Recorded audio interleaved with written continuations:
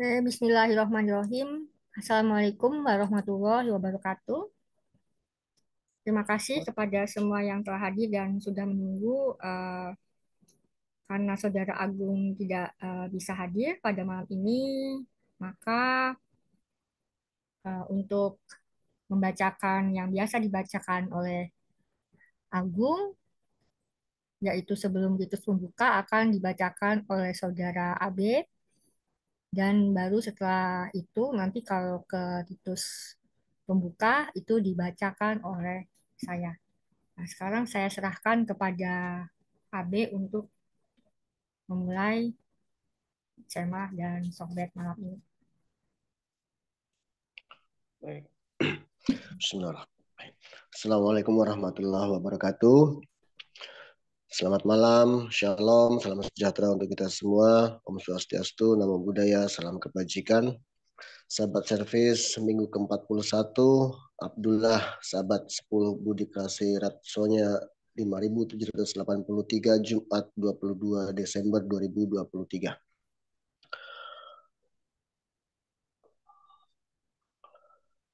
In the name of God, most merciful, most gracious. Dalam nama Tuhan Maha Pengasih, Maha Penyayang.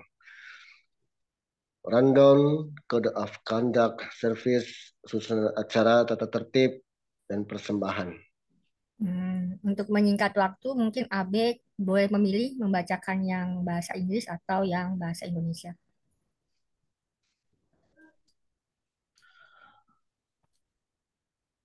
Yusmet, 12 petugas semah dan sohbet. Berlik Hafzibah, Berlik Mursyid, Hafzibah, untuk rehber ada Al Hasan Al Hussein, Syam, Syamsul Yusuf, Dosko, Korehber Abu Zar Al Hifari, Yusuf Khanber, Seraksi, Jabir Ibn Abdullah Khanbir, Zakir Bilal bin Rabah, Ali, All, All. Suberkesi, Salam Al-Farisi, Kanber, Yunus, Maidansi, Uzaifa Al-Yaman, Kanber Tabduk, Niyazi, Muhammad Ibnu Musalmah Al-Ansari, Raita Barak, Kamila, Ibriksi, Kanbir, Jadur, Kapisi, representasi Gulam Kaisan Abdal Yusuf PXC representasi dari Amri Ayari Abdal Yusuf. Sakasi representasi Amar Ibn Yasir Abdal Debra Ehud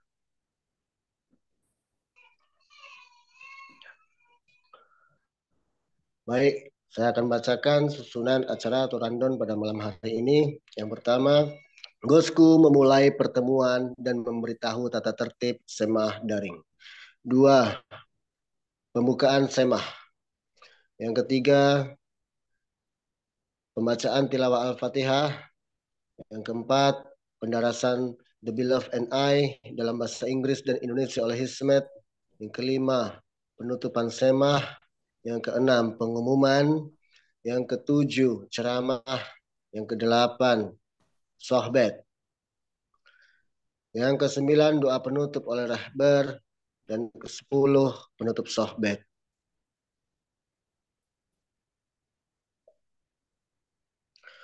Adab semah dan sohbet. Mohon memperhatikan adab semah dan sohbet ini.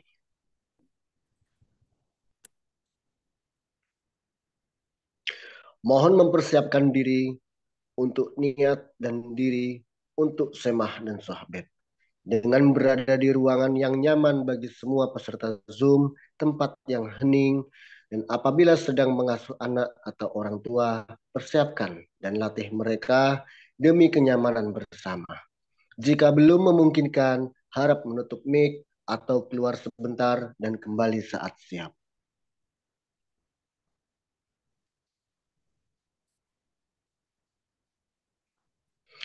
Demi kenyamanan bersama, peserta baru harap memperkenalkan diri apabila diminta dengan menulis di kolom chat nama, dari mana, dari mana mengetahui semah dan tautannya, dan atau dari circle pengajian mana. Mohon mempersiapkan para Vernelia letakkan di dekat Anda. Seperti turbah, sajadah, tasbih, lilin, dan lain-lain. Mohon menutup mic kecuali bagi pendaras atau diminta membuka mic. Silakan menutup kamera jika Anda keberatan menayangkan wajah.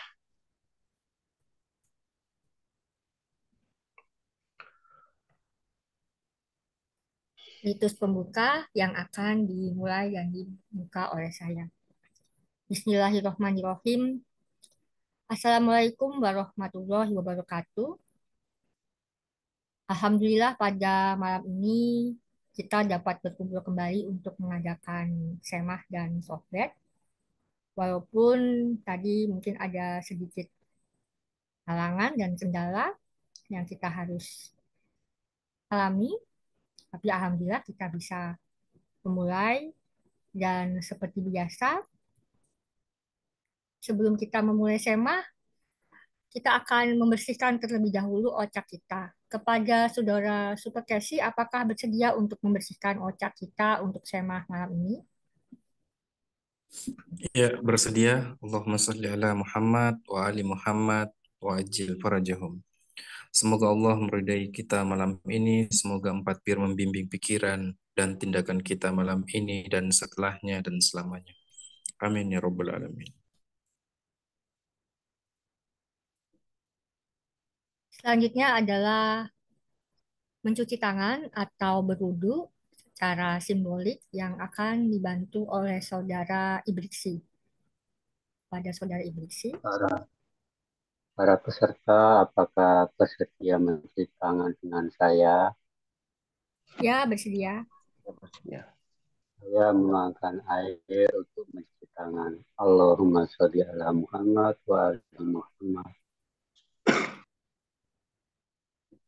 Selanjutnya adalah mencium ambang pintu. Pada saat saya melakukan ritus ini, yaitu andap asor atau nyun kepada para leluhur, dipersilahkan melakukan gestur sesuai dengan tradisi kita. Aku bersaksi tidak ada Tuhan selain Tuhan, dan Muhammad adalah utusannya.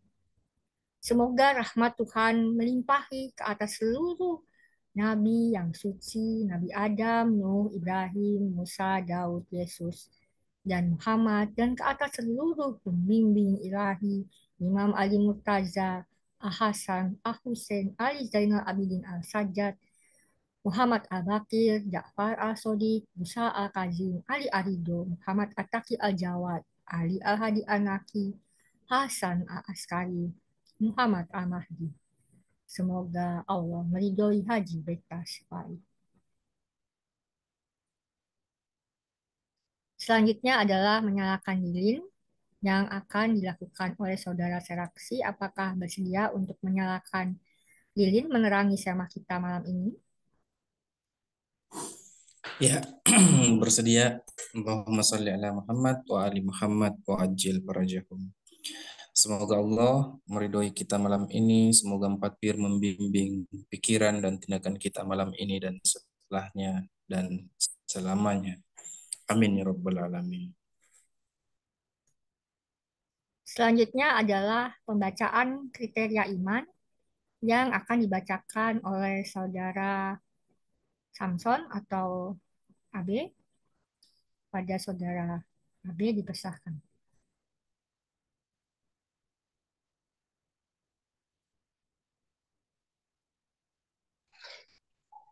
The Criterion Al-Furqan. Akulah Yahuwahu Gusti Allahmu. Jangan ada Gusti Allah selain aku. Jangan menyebut nama Yahuwahu Gusti Allahmu dengan sia-sia. Ingatlah sabat, memeliharanya secara kudus. Hormati ayahmu dan ibumu. Jangan membunuh, jangan berbuat tinaf, jangan mencuri, jangan memfitnah, jangan mengingini kepunyaan orang lain.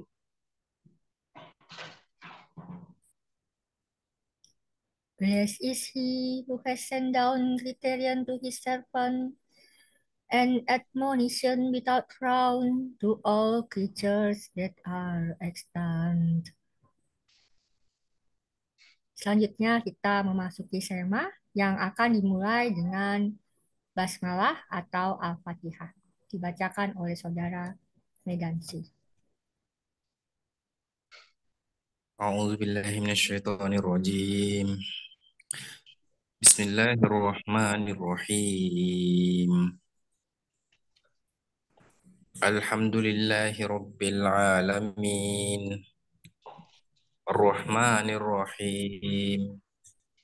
Maliki yaumiddin.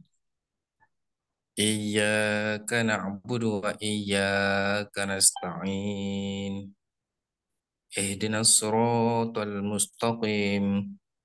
Siratal ladzina an'amta 'alaihim ghairil maghdubi 'alaihim waladdallin. Amin ya rabbal alamin. Sadaqallahul azim. Sadaqallahul azim.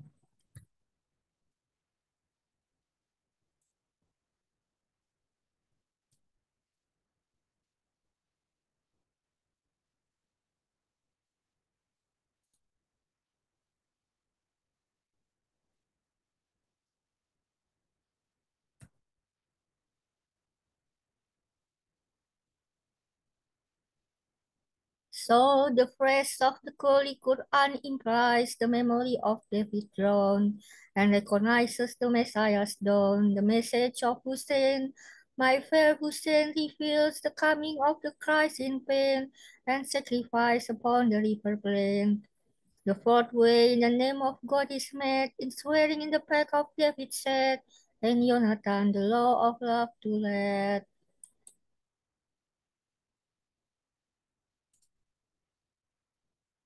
Beloved, I triumph in the gathering that comes each Sabbath day and just to sing your Torah and your songs that will destroy all evil from the earth and bring us joy.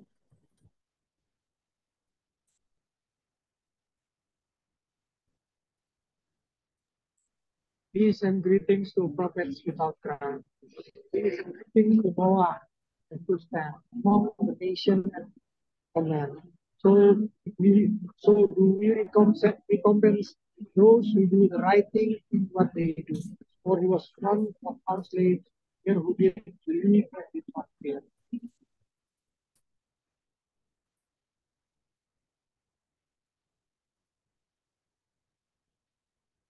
Abe?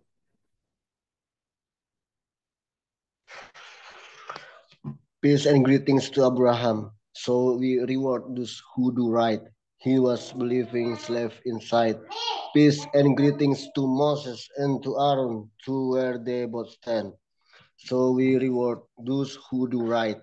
They were two faithful slaves inside. Peace and greetings to Elijah, servant of the Lord held in our. So we reward those who do right. He was our slave who believed light.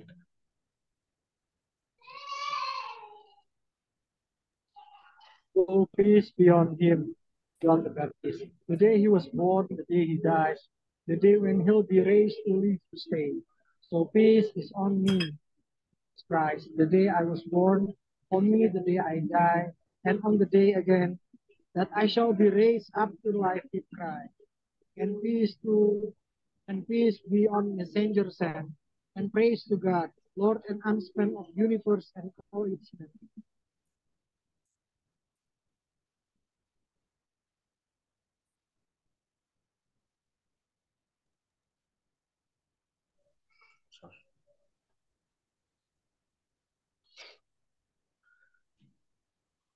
Sang Pir Yesus Kristus berdoa untuk kita. Kuduskanlah mereka dalam kebenaran-Mu. Firman-Mu adalah kebenaran untuk selama-lamanya. Sebagaimana telah Engkau utus daku ke dunia, telah kuutus pula mereka di dalam dunia. Dan demi mereka kukuduskan diriku, supaya mereka juga dapat terbang menuju ke dalam kebenaran yang dapat mengkuduskan. Tidaklah aku berdoa untuk diriku sendiri, melainkan untuk yang akan memiliki diri ini melalui sabda-sabda mereka nanti bahwa mereka akan menjadi satu sebagaimana engkau Bapa tetap berada di dalamku dan aku berada di dalammu dan mereka menjadi satu supaya dunia percaya bahwa engkau yang mengutusku.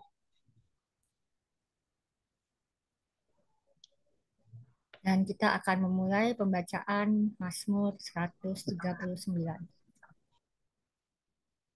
For the chief musician, a psalm of David, O Yahuwah, you have searched me, you have known me too.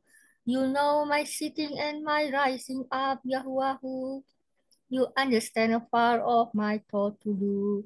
You comprehend my path and my lying down, and are acquainted with all my ways in town.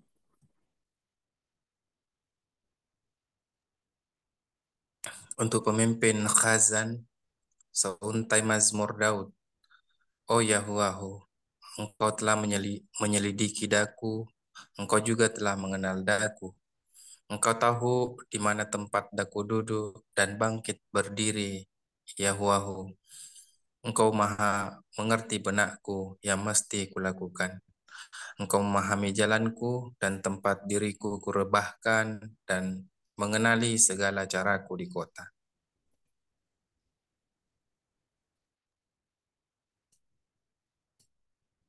For there is not a word of tongue. Behold, O Yahweh, that you know it whole the earth.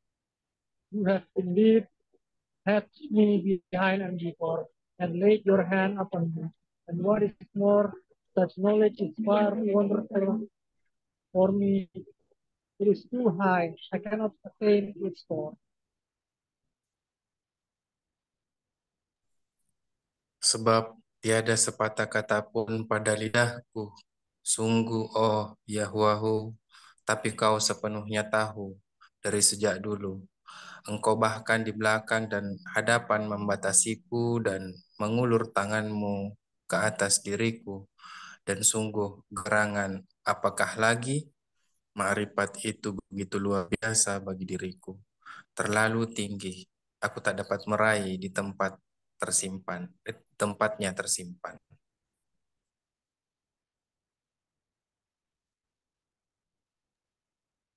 The psalmist wonder that you know the round of human life is race.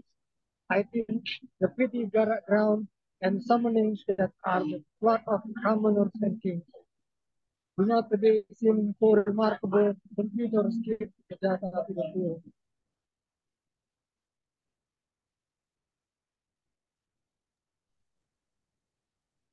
engkau luar biasa karena karena engkau sebuah komputer pada seberkas bintang nun jauh maka aku punya hal-hal yang lebih baik daripada itu. Dan aku akan bersenang-senang saja daripada mencipta di sekelilingku. Dedaunan pada pohon-pohon Kendati setiap nyawa mengetahui napas yang kau hembuskan, dan tiap jiwa dengan khas tertawan olehmu. Tetaplah buat kandaku tempat berteduh demi kesuka citaanku. Tak peduli itu khas atau dalam pelarianku.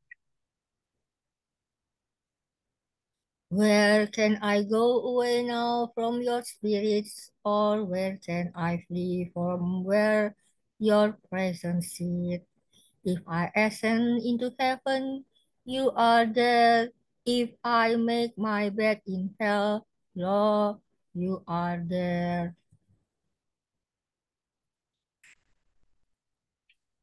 If I take the wings of the morning to flee and leave the uppermost part of the sea, then even that means your hand shall lead, your right hand shall not desist from holding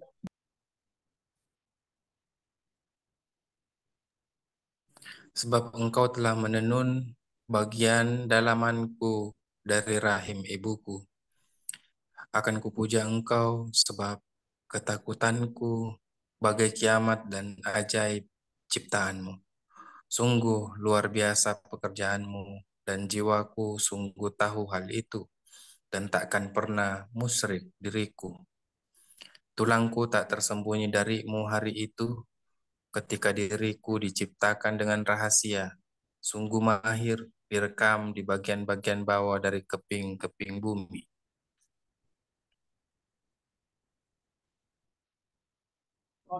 Your eyes saw my substance, and yet unworked, and in your group they all were written in me. The days fashioned for me, when none were in seed. How precious also are your true thoughts to me, O Elohim, and how great it's, it is, is the, their sum seed. If I should count them, they would be more than sand. When I wake, I'm still beside your hand.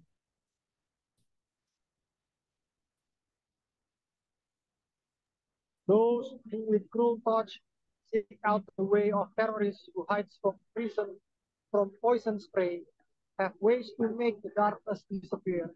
You are beloved, no more unique I fear.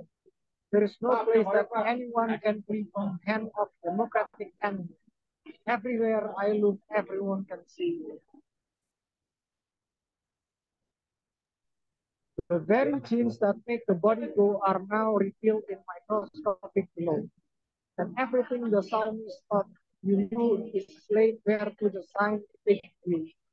The truth of your genetic code we break with hope and force upon the solemn state that good may be done by the very means that ancient watchers fell upon the teams of daughters of God to experiment and make gigantic figures they, where they went.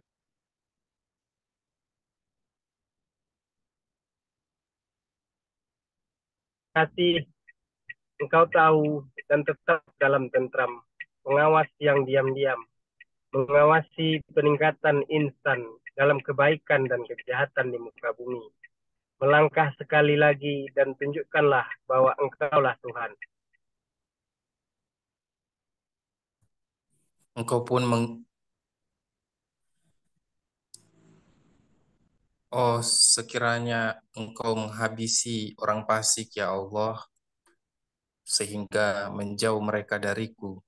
Demikianlah engkau para penumpah darah, sebab mereka bahkan bicara dusta melawan engkau dengan jahatnya. Musuh-musuhmu telah mengambil namamu dengan sia-sia pongah.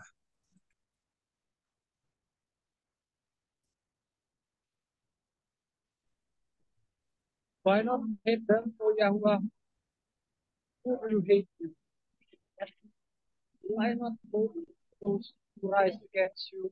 I hate them with perfect hatred on my account. I do hold them my enemies paramount.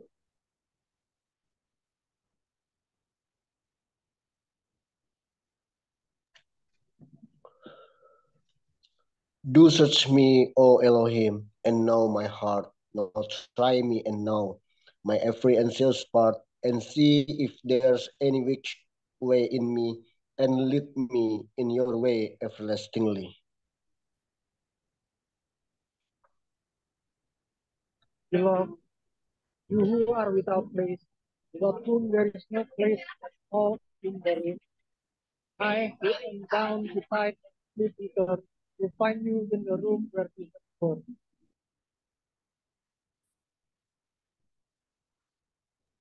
Your thoughts before the warning flood of earth I cannot fathom, for there just be. And yet I pray on a curse on those who hate your ways, even if that unhappy state be in my own soul, forge the with fire till there remains, till there remains but that peaceful desire for you alone. Beloved, I truly hate the bitter of prideful thing, the slayer of insane and his and all his crew. Give me more hate, beloved, and love for you. Selanjutnya kita telah mencapai penutupan sema.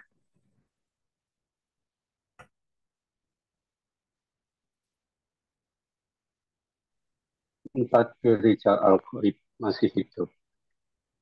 Dan masih sungguh benar adanya dalam bimbingan rahasia memberi panduan hal-hal yang mesti ku kerjakan, dan memerintah para raja, dan dalam gerakan sejarah turut terlibat di dalamnya.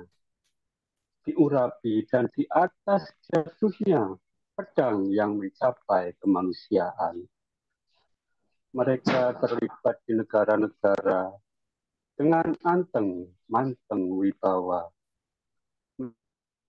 menjalani laku keadilan yang orang-orang kotakan. Kebenaran pada perancah, kesalahan pada tahta. Hanya kulit yang diwarnai, bukan pada tulangnya.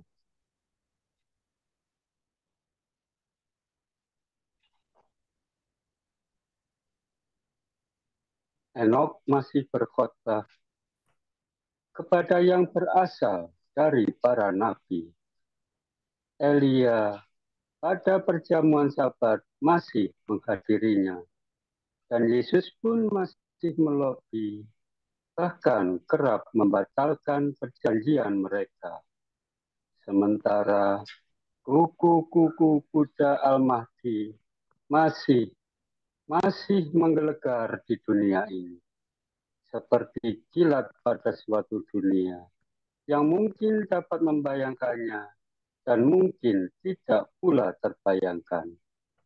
Kebenaran mungkin kata-kata untuk diperdebatkan, tapi aku nyata. And after that, in the fifth that is closed, the house that they see of glory and dominion shall be built forever eternal. The fifth age of the world closed with the birth of the Mahdi, whose name fulfilled the word of his grandfather, seal of prophets, both whose law perfected what had once been told to Enoch when he read the script in gold upon the heavenly tablets in the air. Nabaika ya Mahdi.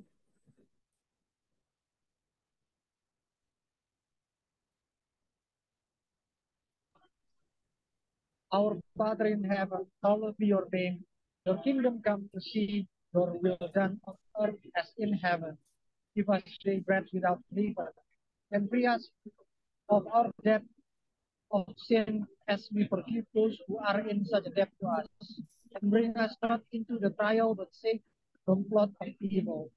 For the kingdom so is yours, the power over man, and glory forever. Amen.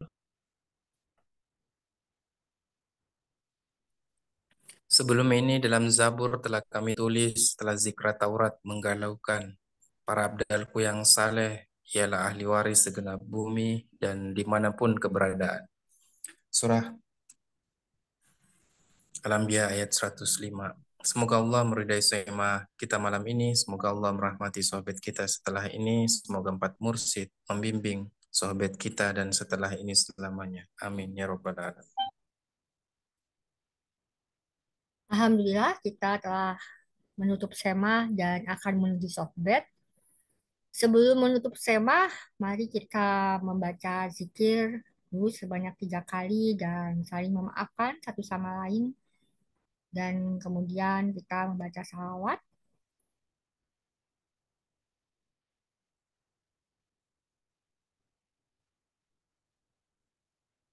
Hmm.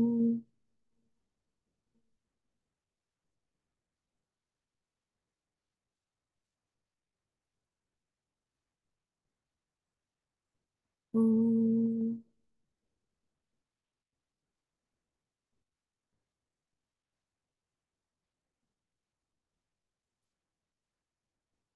Hmm.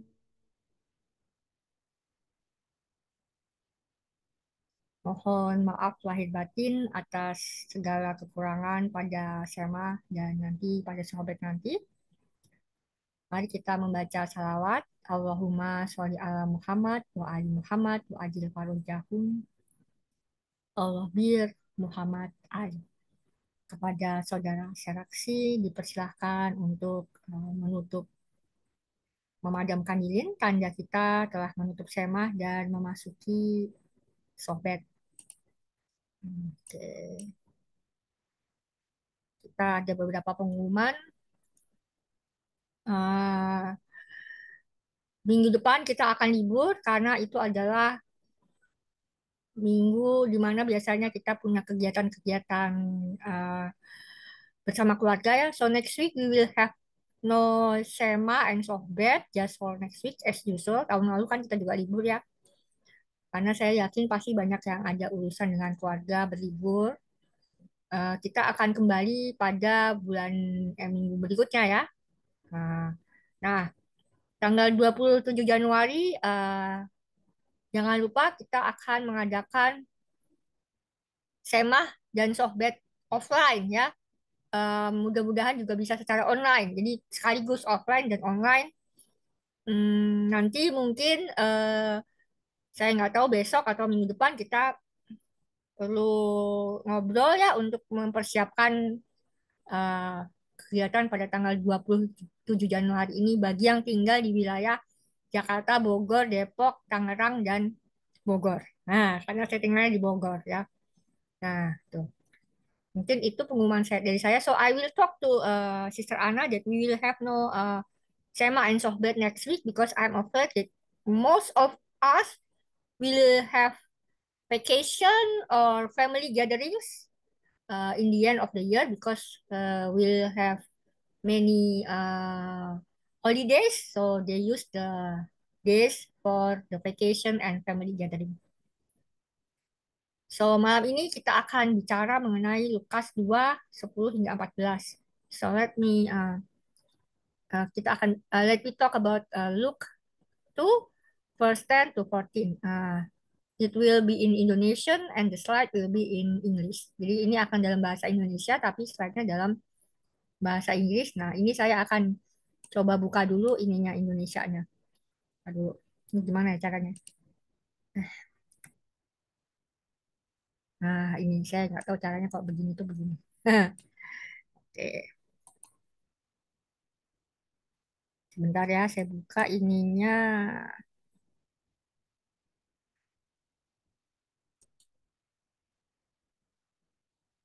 Sepertinya tidak mungkin ya.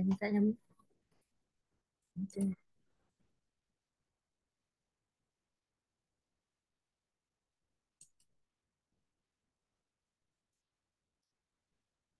So, uh, the Council Church of Indonesia and the Assembly of the Catholics churches in Indonesia, they chose this theme from Luke uh, 2 verse 10 to 14.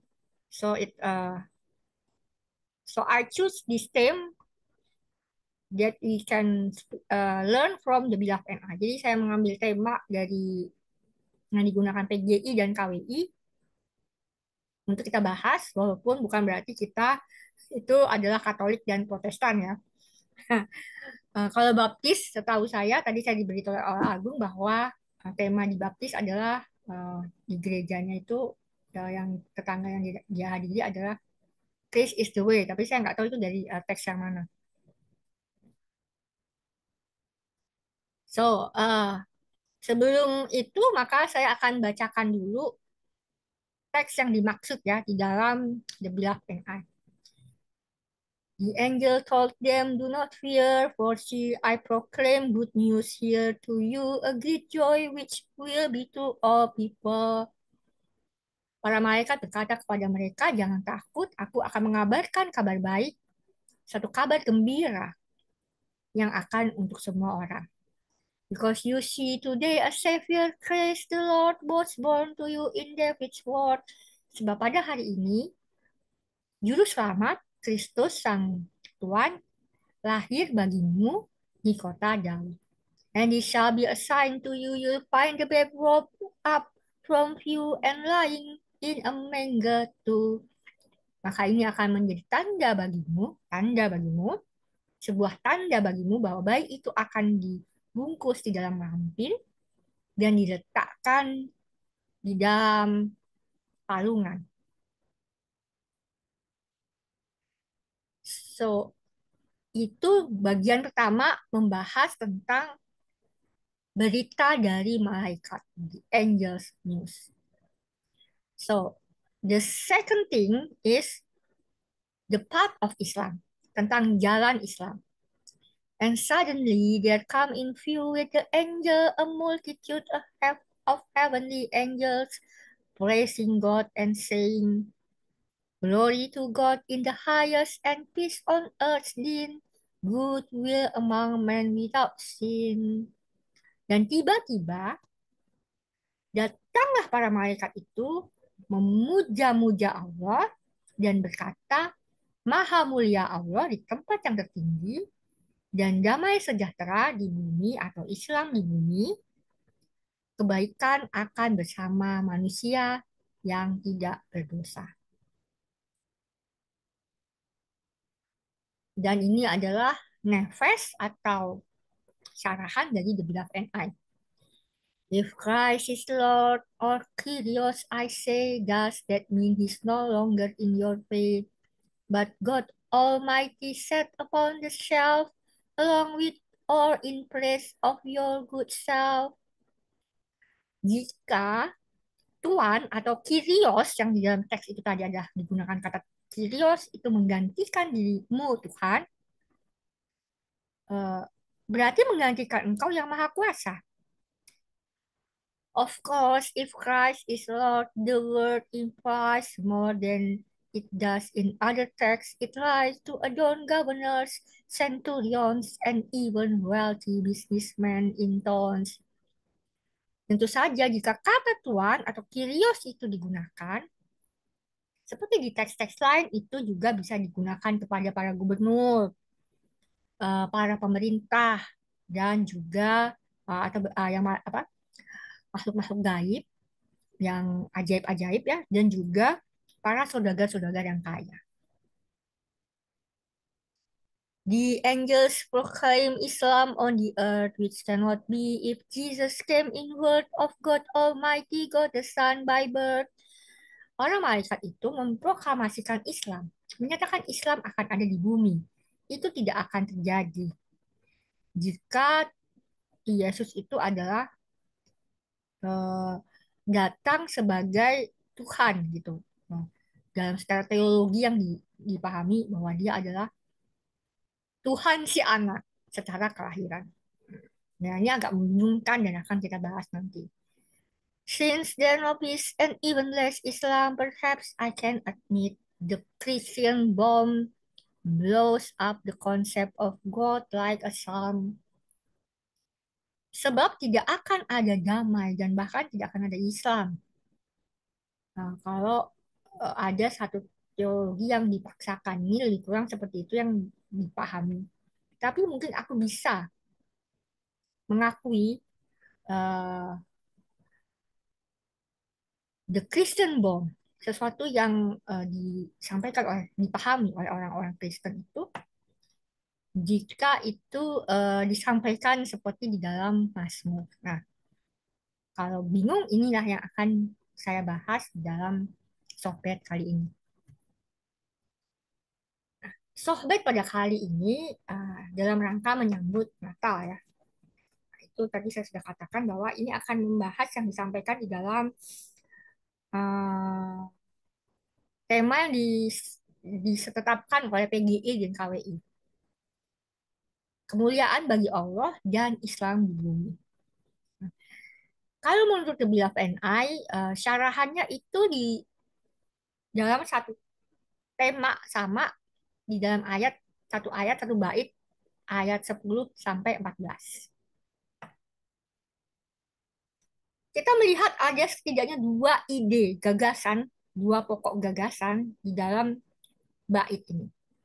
Yang pertama adalah adanya kehadiran seorang malaikat yang menyampaikan akan hadirnya seorang peer. Nah, peer itu bahasa Persia dan Turki. Saya lupa itu Persia atau Turki ya, tapi orang Turki juga menggunakan kata pir.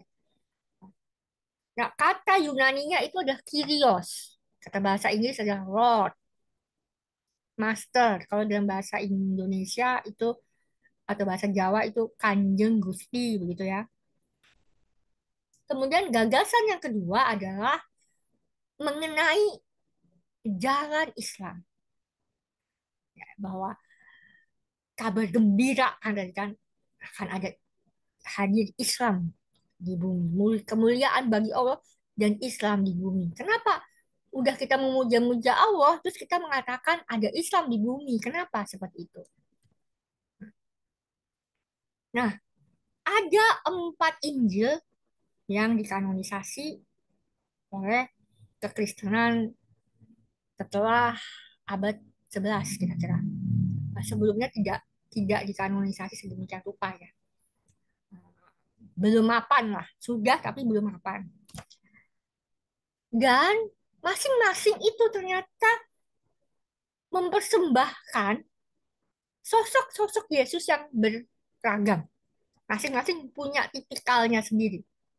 Bahkan cerita kelahiran, kalau bahasa Inggrisnya cerita kelahiran itu nativity ya, harusnya it's supposed to be the nativity, it's not the birth story. It's, not a good English. The nativity of Christ itu seharusnya uh, ya bukan seharusnya itu berbeda antara Matius dengan Lukas. Itu contoh aja. Nah, ketika saya melakukan penelitian historis tentang ini, itu sudah beberapa tahun yang lalu pada saat saya uh, memulai novel saya dan sekarang masih saya kerjakan jadi saya sudah hampir empat tahun atau lima tahun menjadi novel ini ya um, setidaknya itu saya menemukan 14 sosok di dalam catatan-catatan sejarah lain yang misalnya ditulis oleh Flavius Josephus. Jadi Flavius Josephus ini adalah orang Yahudi etnis etnis Yahudi di pemerintahan Romawi. Nah, 14 sosok ini mungkin itulah yang merujuk kepada sosok Yesus Kristus di dalam Injil-Injil sinoptik dan berbagai Injil-Injil apokripa. Apokripa itu artinya Injil yang tidak dianggap kanon. Mungkin kalau di dalam hadis itu hmm, dianggap sebagai hadis uh, yang lemah gitu kan ya. Bukan doif sih tapi lemah. Bukan doif ya. Apa tuh lemah itu saya lupa. Tiba-tiba saya lupa. Nah, kemudian ini ya ini buat yang banyak orang yang baru di sini ya. Saya melihat ada yang baru. Kalau bisa yang baru ini seperti Pak Firman dengan Pak Rusdian untuk uh, menulis di chat, memperkenalkan diri, asal, dan dari mana tahu um, soh semah dan sohbet ini apakah dari pengajian, apakah dari Facebook gitu kan. Kasus ini kalau kita yang rajin datang ke sohbet saya, ini kasusnya mirip bagaimana hadis-hadis itu mempersatukan, menghimpun berbagai cerita tentang yang namanya Muhammad ya ke dalam satu sosok. Padahal kalau kita lihat di hadis-hadis itu, kita bisa menyimpulkan kemungkinan sekali ada lima sosok Muhammad yang bergelar Muhammad. Ini pembahasannya bukan pembahasan akidah atau teologi ya, tapi ini pembahasan historis ya pembahasan historis ketika melihat suatu teks-teks mitologi atau dongeng atau tradisi lisan. Ya.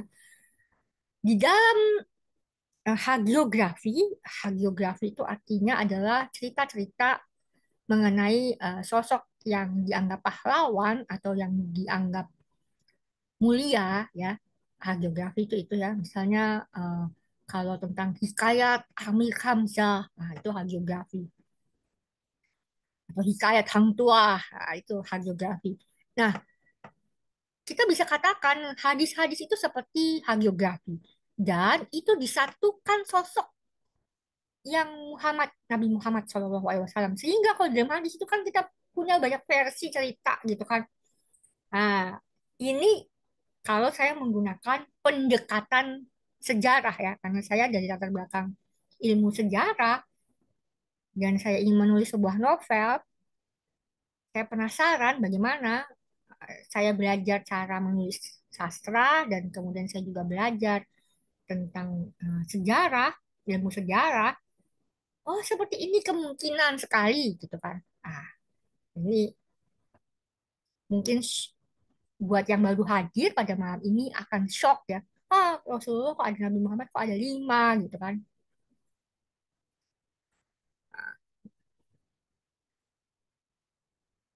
Nah,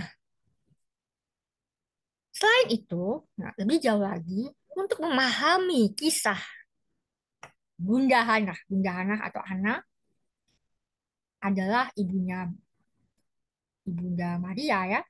Kemudian Ibunda Maria, kemudian Nabi Zakaria. Ada dua Nabi Zakaria di dalam Alkitab.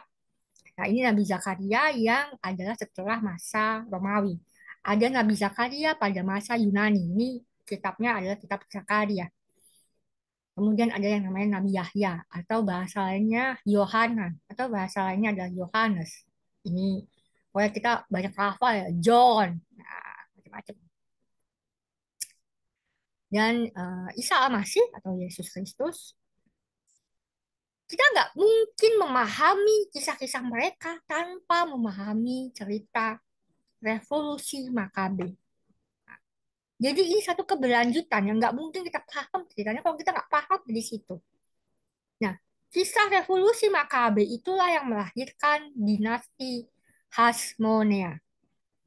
Jadi Makabe itu uh, satu nama yang kemudian menjadi satu nama marga ya. Mungkin kalau kira-kiranya begini, AAB itu uh, marganya Asegaf, dia melakukan revolusi, kemudian uh, jadilah disebut sebagai revolusi Asgafiah gitu misalnya.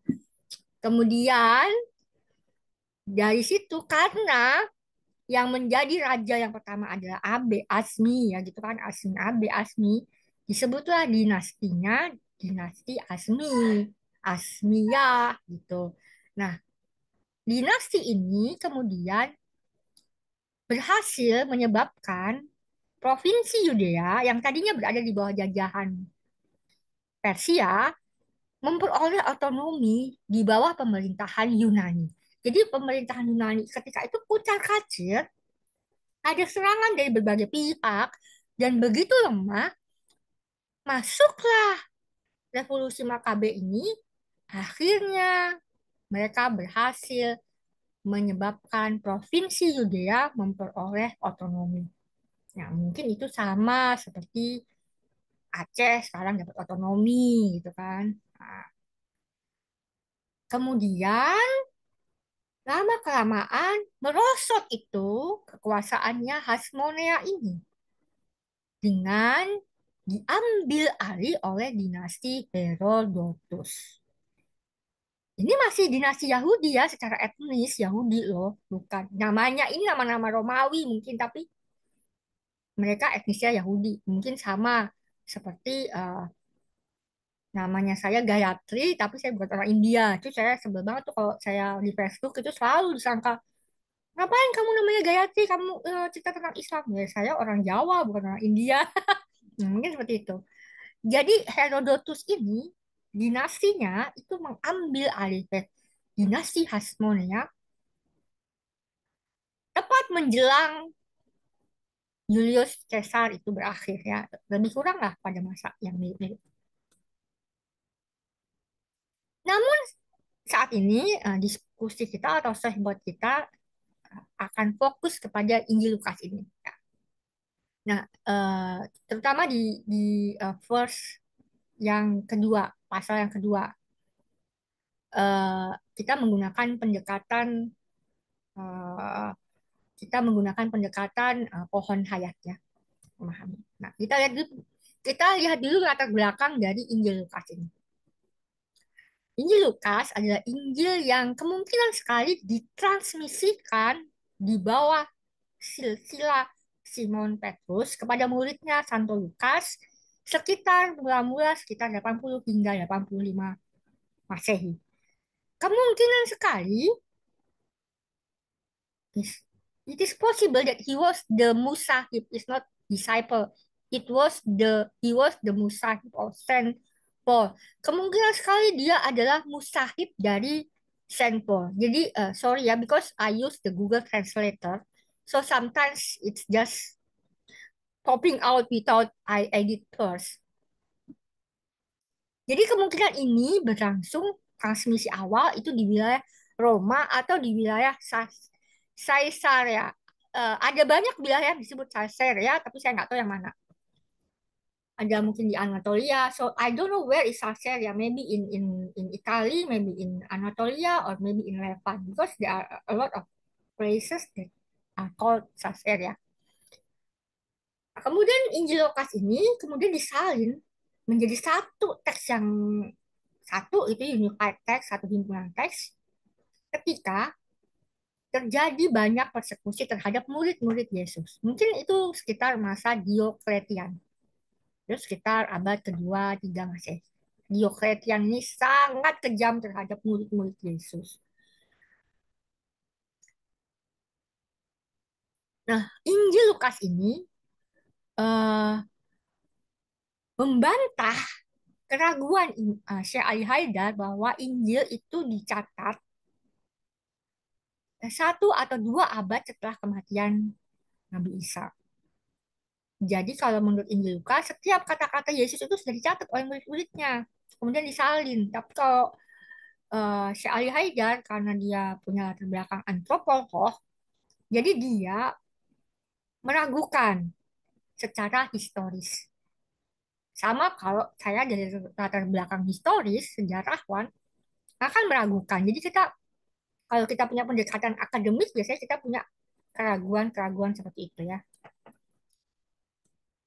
apa pun itu ya, apa pun itu keraguan kita atau enggak, kita pakailah, misalnya kita ikutin apa klaimnya ya, klaimnya si Injil Lukas. Dia di dia mengklaim bahwa dia direkam, di, dicatat, kemudian disalin di suatu tarekat. Maksud ini sekali lagi ini menggunakan pendekatan kita sebagai tarekat ya. Di suatu tarekat yang ber, berada di bawah seorang musik. Dalam hal ini siapa? Musiknya adalah Theophilus. Theophilus itu artinya sahabat Allah. Mungkin ini adalah satu jeneng. Jeneng itu kalau dalam tradisi Jawa maksudnya ada nama yang diberikan setelah seseorang menjadi seorang pemimpin, mursyid, dan lain sebagainya. Jadi dia mungkin adalah uh, seorang mursyid di uh, ocaknya atau di ahli baiknya Lukas ya. Uh, apa tarekat yang sedang dipimpin oleh Lukas satu ini ya. Atau itulah nama lain dari beliau sendiri. Hmm, misalnya uh, nama lain dari Thomas adalah Ali Hajar gitu kan. Nah, kita sekarang ada di otak beliau gitu. Kan ada di jalur silsilahnya beliau. Jadi otak itu jalur silsilah ya. Nah kemudian um, Injil Lukas ini dimulai dengan sijrah atau silsilahnya dari Allah. Dari Allah ke Adam, ke seterusnya, ke seterusnya. Meletakkan Yesus sebagai musid yang ke-77 di dalam sijrah. Nah, kalau kita lihat angkanya berarti adalah 11 kali 7. Nah, nggak salah ya saya ya. Soalnya matematika saya jelek.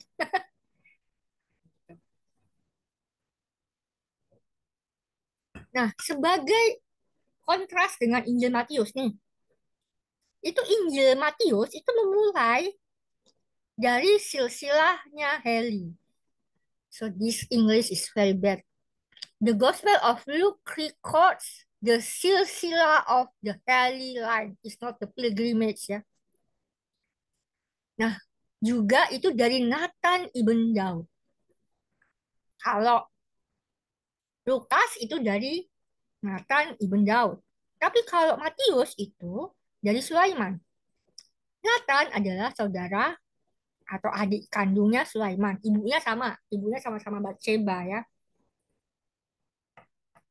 Ini menunjukkan bahwa Injil Lukas dicatat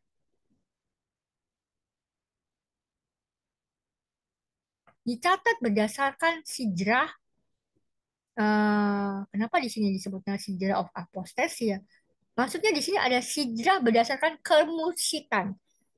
it's not the sidra of apostasy, but the sidra of the mursyid. So this is again a stupid Google Translator. Google Translator ini ngawur banget nih. merekam uh, merekam sidra atau silsilah mursyid dari Heli. Heli itu ada kakeknya Ibunda Maria, ya, dan kemudian juga adalah mursyid atau kakek yang sama dengan Santo Yusuf suaminya Bunda Maria setelah beliau uh, mengandung Yesus. Jadi kan beliau sudah bertunangan ya dengan Santo Yusuf, sudah melakukan erusin. Erusin itu pertunangan yang sudah ada ketubahnya, sudah sudah ada perjanjiannya. Jadi mereka adalah saudara sepupu. Ya, biasanya uh, zaman dulu orang menikah satu sepupu begitu. Dan mungkin ini berkaitan dengan yang kita belajar minggu lalu bilangan 27 dan uh, 32 pernikahan sepupu itu bisa membuat perempuan memperoleh hak waris di dalam tradisi Bani Israel. Nah, di dalam Injil Lukas, Tuhan Yesus, Lord Jesus, ya, digambarkan sebagai seorang musik yang penuh dengan kasih sayang. Seorang aktivis sosial, SJW, gitu kan, social justice warrior, untuk kemanusiaan, terutama untuk gender, aktivis gender gitu kan.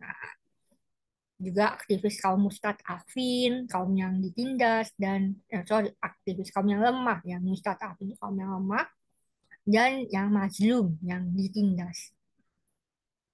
Nah, kemungkinan sekali kalau kita lihat akara atau uh, tarekatnya San, Santo Lukas ini, itu dipenuhi oleh etnis-etnis non-Yahudi yang disebutnya Goyim. Goyim itu sebetulnya artinya adalah nations in general. Jadi maksud dari uh, so the meaning of Goyim as far as I understand it means nations or umat in general. Goy, umat ya. Kemungkinan sekali uh, Santo Lukas ini juga bukan seorang etnis Yahudi ya. Mungkin dia orang Jawa ya. Mungkin.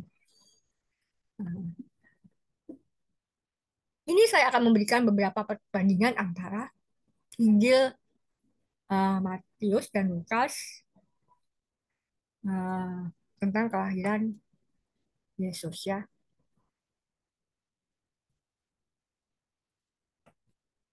So this is the comparison between uh, Luke and Matthew Yeah.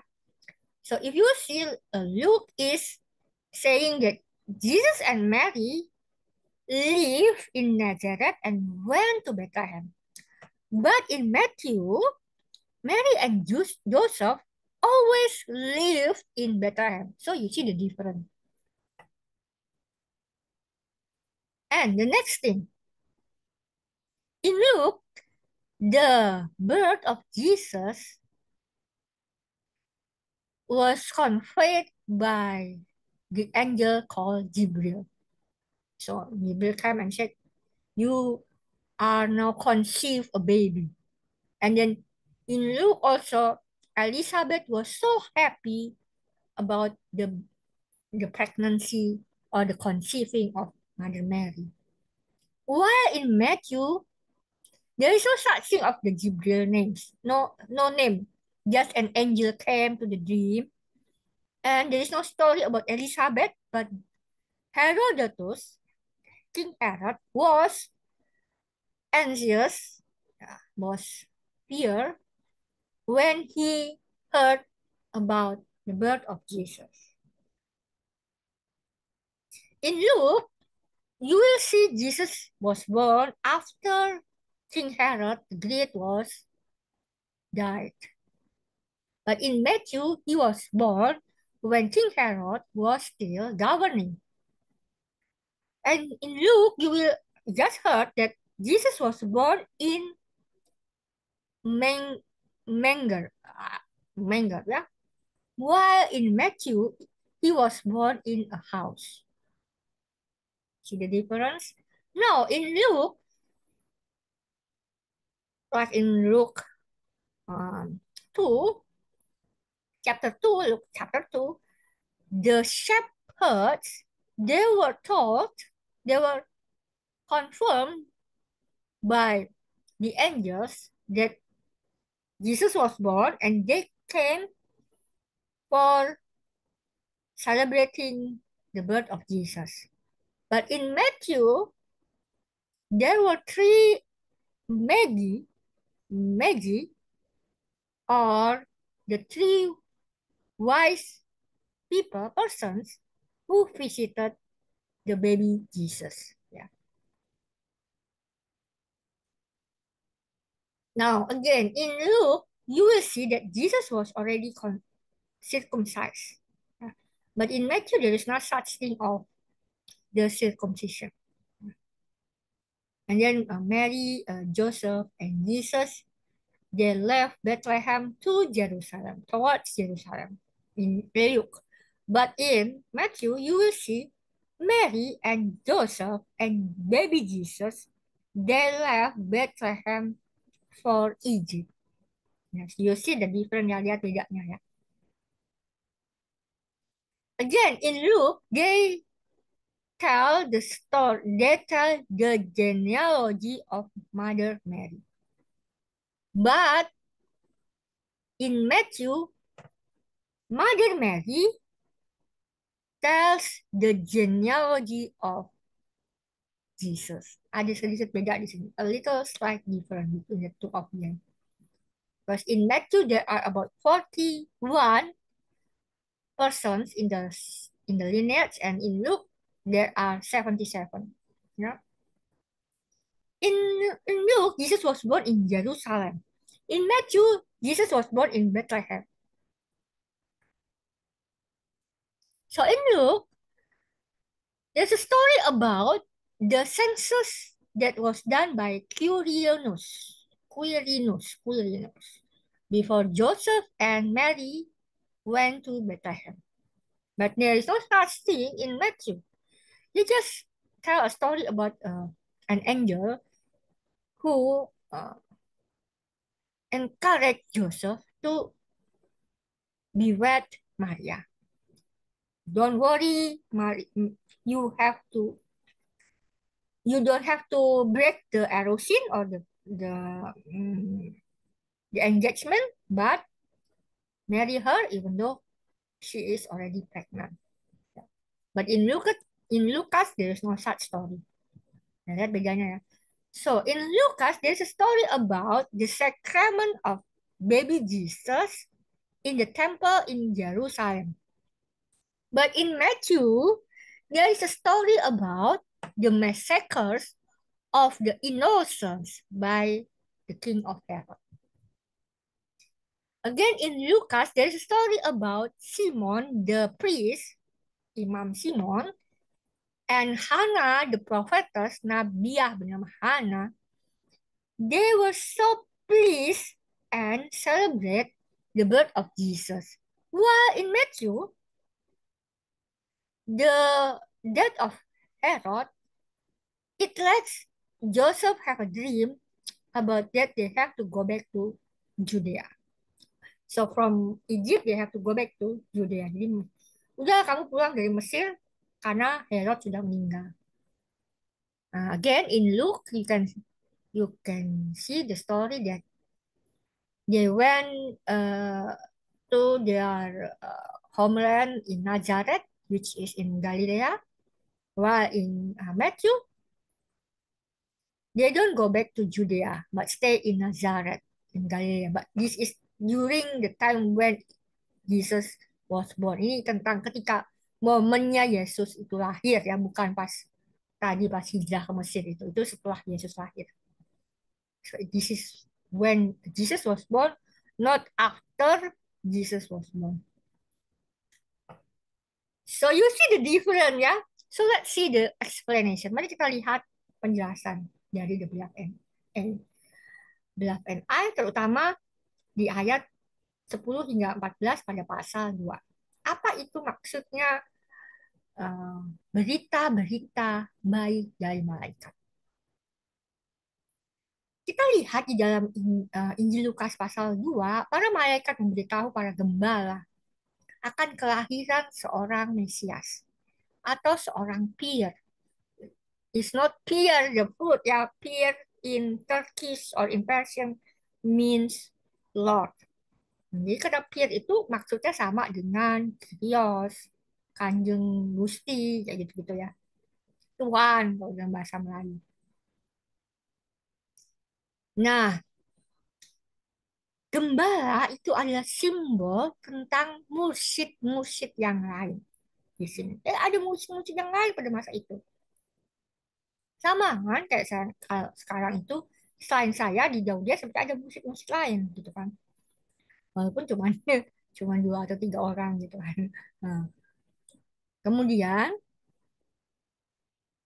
atau di tarekat-tarekat lain kan banyak banget kalau di tarekat lain banyak banget. Nah, kemudian eh, tampaknya ini sebetulnya ada menceritakan bahwa musik itu muncul sekitar 6 Masehi ketika Quirinus menjadi tetraka Yudea. Jadi ada istilah ketika masa Romawi itu seorang seperti bupati itu namanya tetrarka. Coba nanti cari di Google apa artinya tetrarka itu ya. Uh, itu setelah kematiannya Herodotus. Nah, kemudian pada masa Quirinus itu dia melakukan sensus. Nah, makanya ada cerita tentang bayi Yesus dibawa pulang ke Bethlehem. Ya, karena di situlah adalah kampung halaman dari dinasti mereka atau klan. It's, it's not breed, but it's clan. Perhaps it's like the house of David according to that time, to this story ya. Jadi karena mau disensus, mereka pulang untuk supaya diketahui ya mereka adalah klannya Daud. Ya, karena karena apa?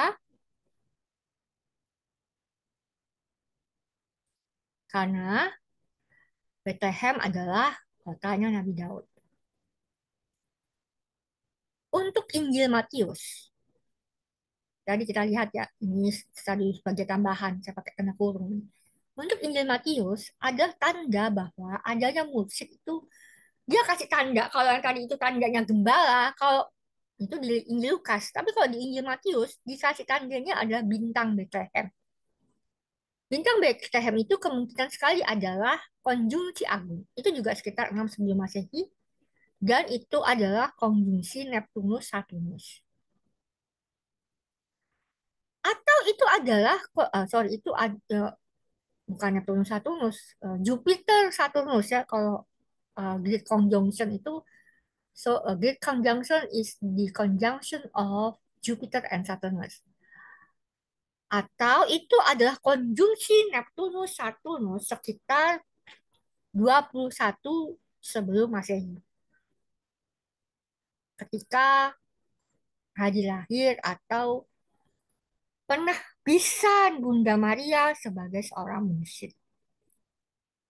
Nah, sekitar sebelum empat sebelum Masehi itu terjadi erupsi di Gunung Etna di Italia, di Sisilia. Itu satu gunung yang sampai hari ini sangat aktif. Dia seperti Gunung Merapi kali ya. Aktif banget itu. Erupsi itu mengubah konstelasi politik Yunani dan Romawi. Nah, sehingga kemudian terjadi juga banyak pemberontakan di provinsi Yudea. Kan kalau zamannya Hasmonea itu udah gak ada pemberontakan. Tapi ini terjadi pemberontakan lagi. Nah, ya. Ini masih catatan saya kalau mengenai Injil Matius. So this is still uh, my uh, my notes about uh, the Matthew, ya yeah, the, the Gospel of Matthew. Nah, menuju konjungsi agung pada 6 sebelum Masehi, Herodotus yang agung, dia melakukan yang dikenal sebagai pembantaian orang-orang yang tidak berdosa, yang termasuk membunuh anak-anaknya sendiri, yang dianggap membahayakan tahtanya. Jadi dia tuh punya beberapa istri dan beberapa anak.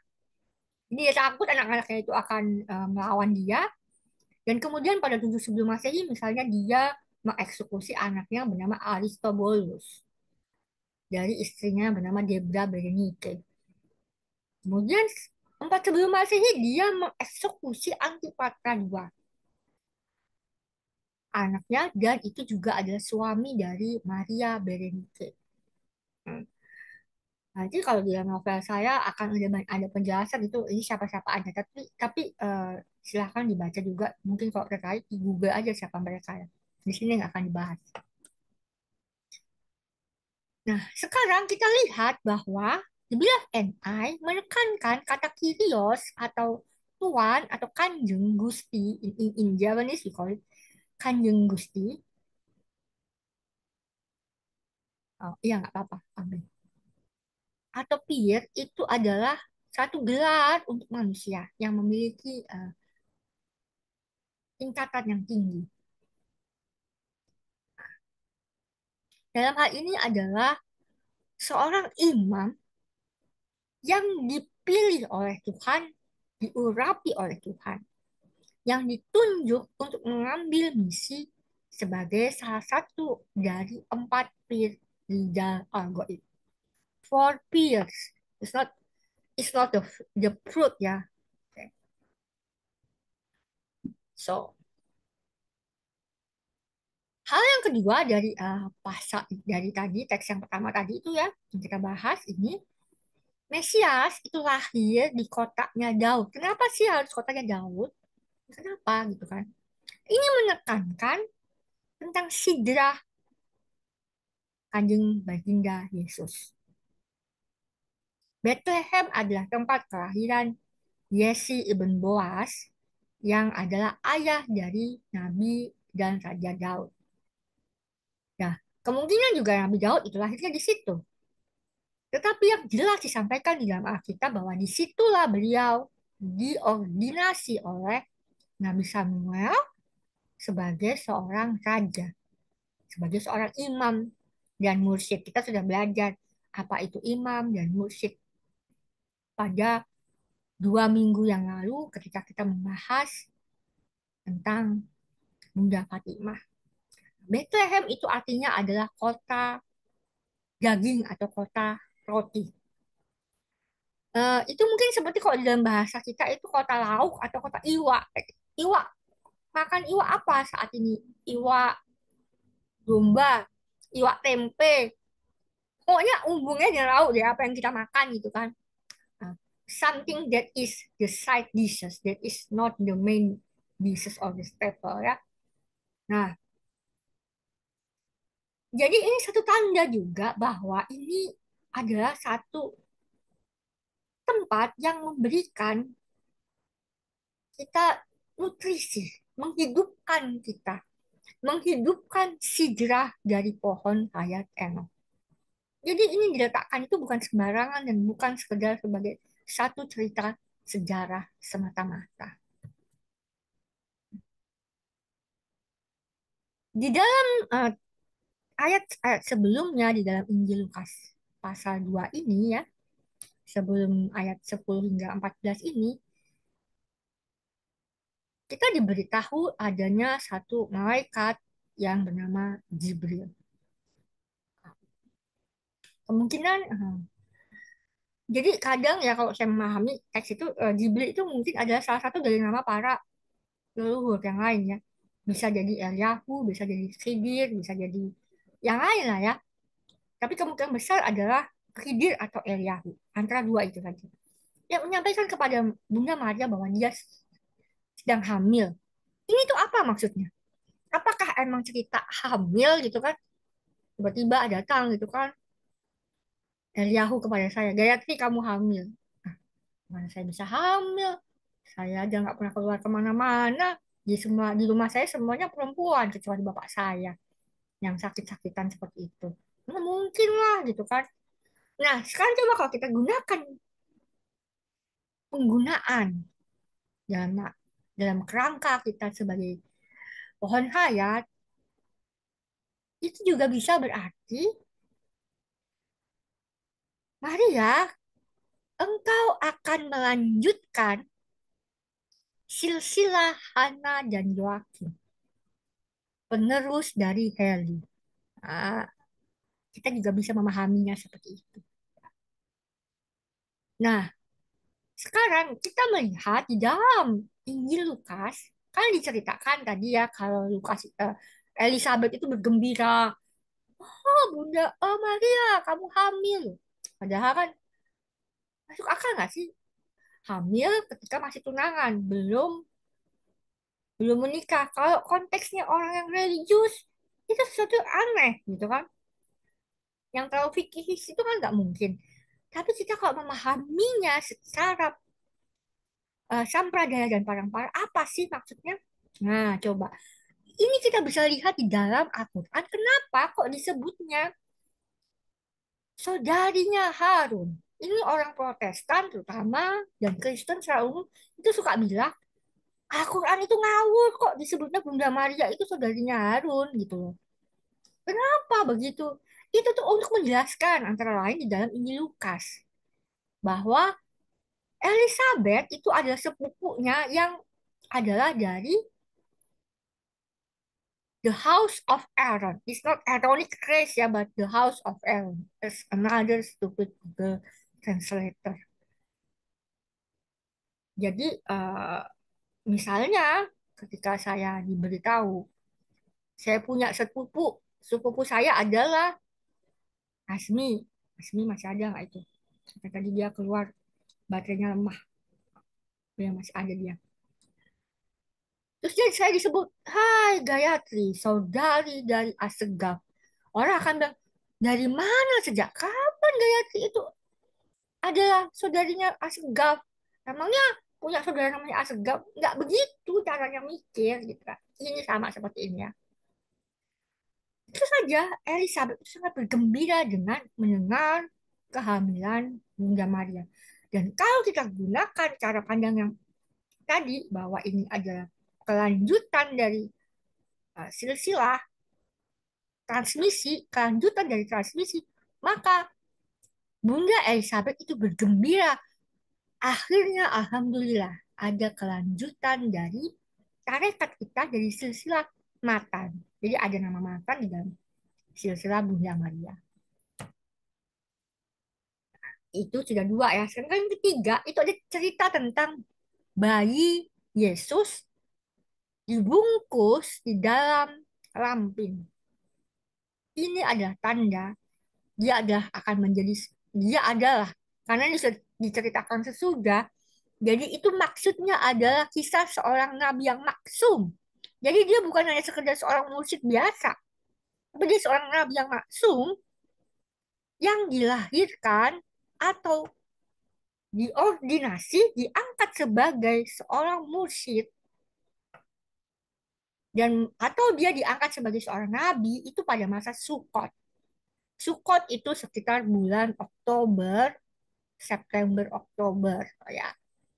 Nah, agak berbeda-beda uh, kalau ikut Masehi. Tapi kalau ikut uh, jelas itu bisa pakai ada aplikasinya kita tahu ya suka selalu, selalu kapan jatuhnya. Dan kemudian itu diberkati oleh seorang mursyid bernama Simon di kuil Yerusalem dan Hana seorang nabi pada masa itu. Jadi ada nabi dan mursyid pada masa itu di Yerusalem. Dan mereka itu berasal dari tarekat atau silsilah mata yang bernama Matan, mursyid yang bernama Matan. Nah, tampaknya kalau di dalam Lukas, tarekat ini, kongregasi ini adanya di Nazaret. Jadi misalnya tadinya tadinya itu ada di Finland. Terus tiba-tiba, uh, bukan tiba-tiba, terus berpindah ke Yerusalem. Nah, cerita pengangkatannya Yesus itu diberkati sebagai entah mursyid, entah nabi pada masa Sukot di Yerusalem. Kalau di Injil Lukas. Okay? So this is still in Lukas. Tetapi ketika ada perubahan pemerintahan, jadi pemerintah yang berubah, mereka kembali ke Nazaret.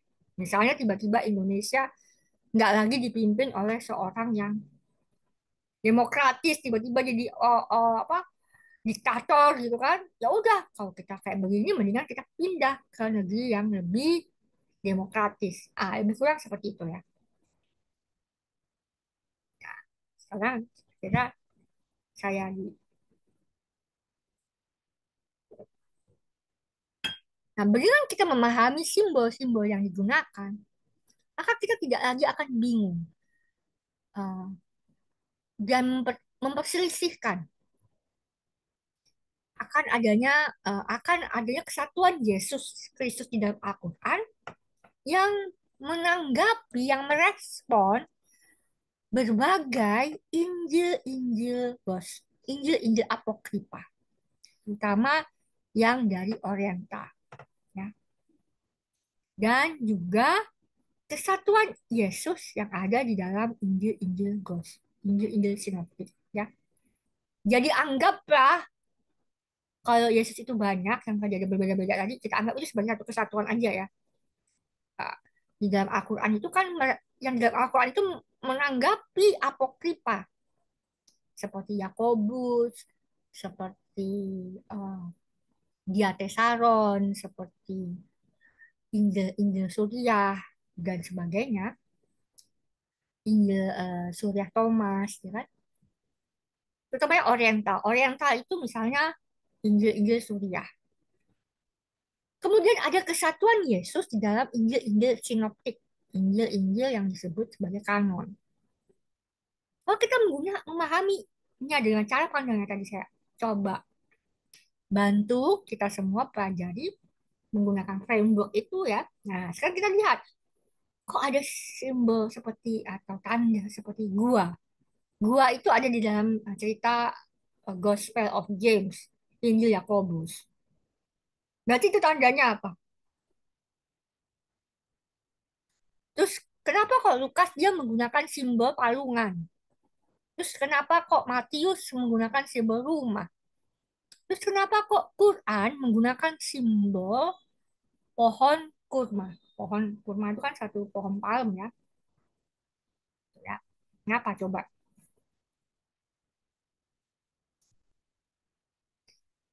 Kalau kita mencoba memahami itu misalnya begini, simbol palungan tadi yang dipakai oleh Matius itu berhubungan dengan hari raya panen atau kalau di dalam bahasa di Indonesia itu Serentahun. So we have also the holiday of the harvest we call Serentahun in Jawa especially.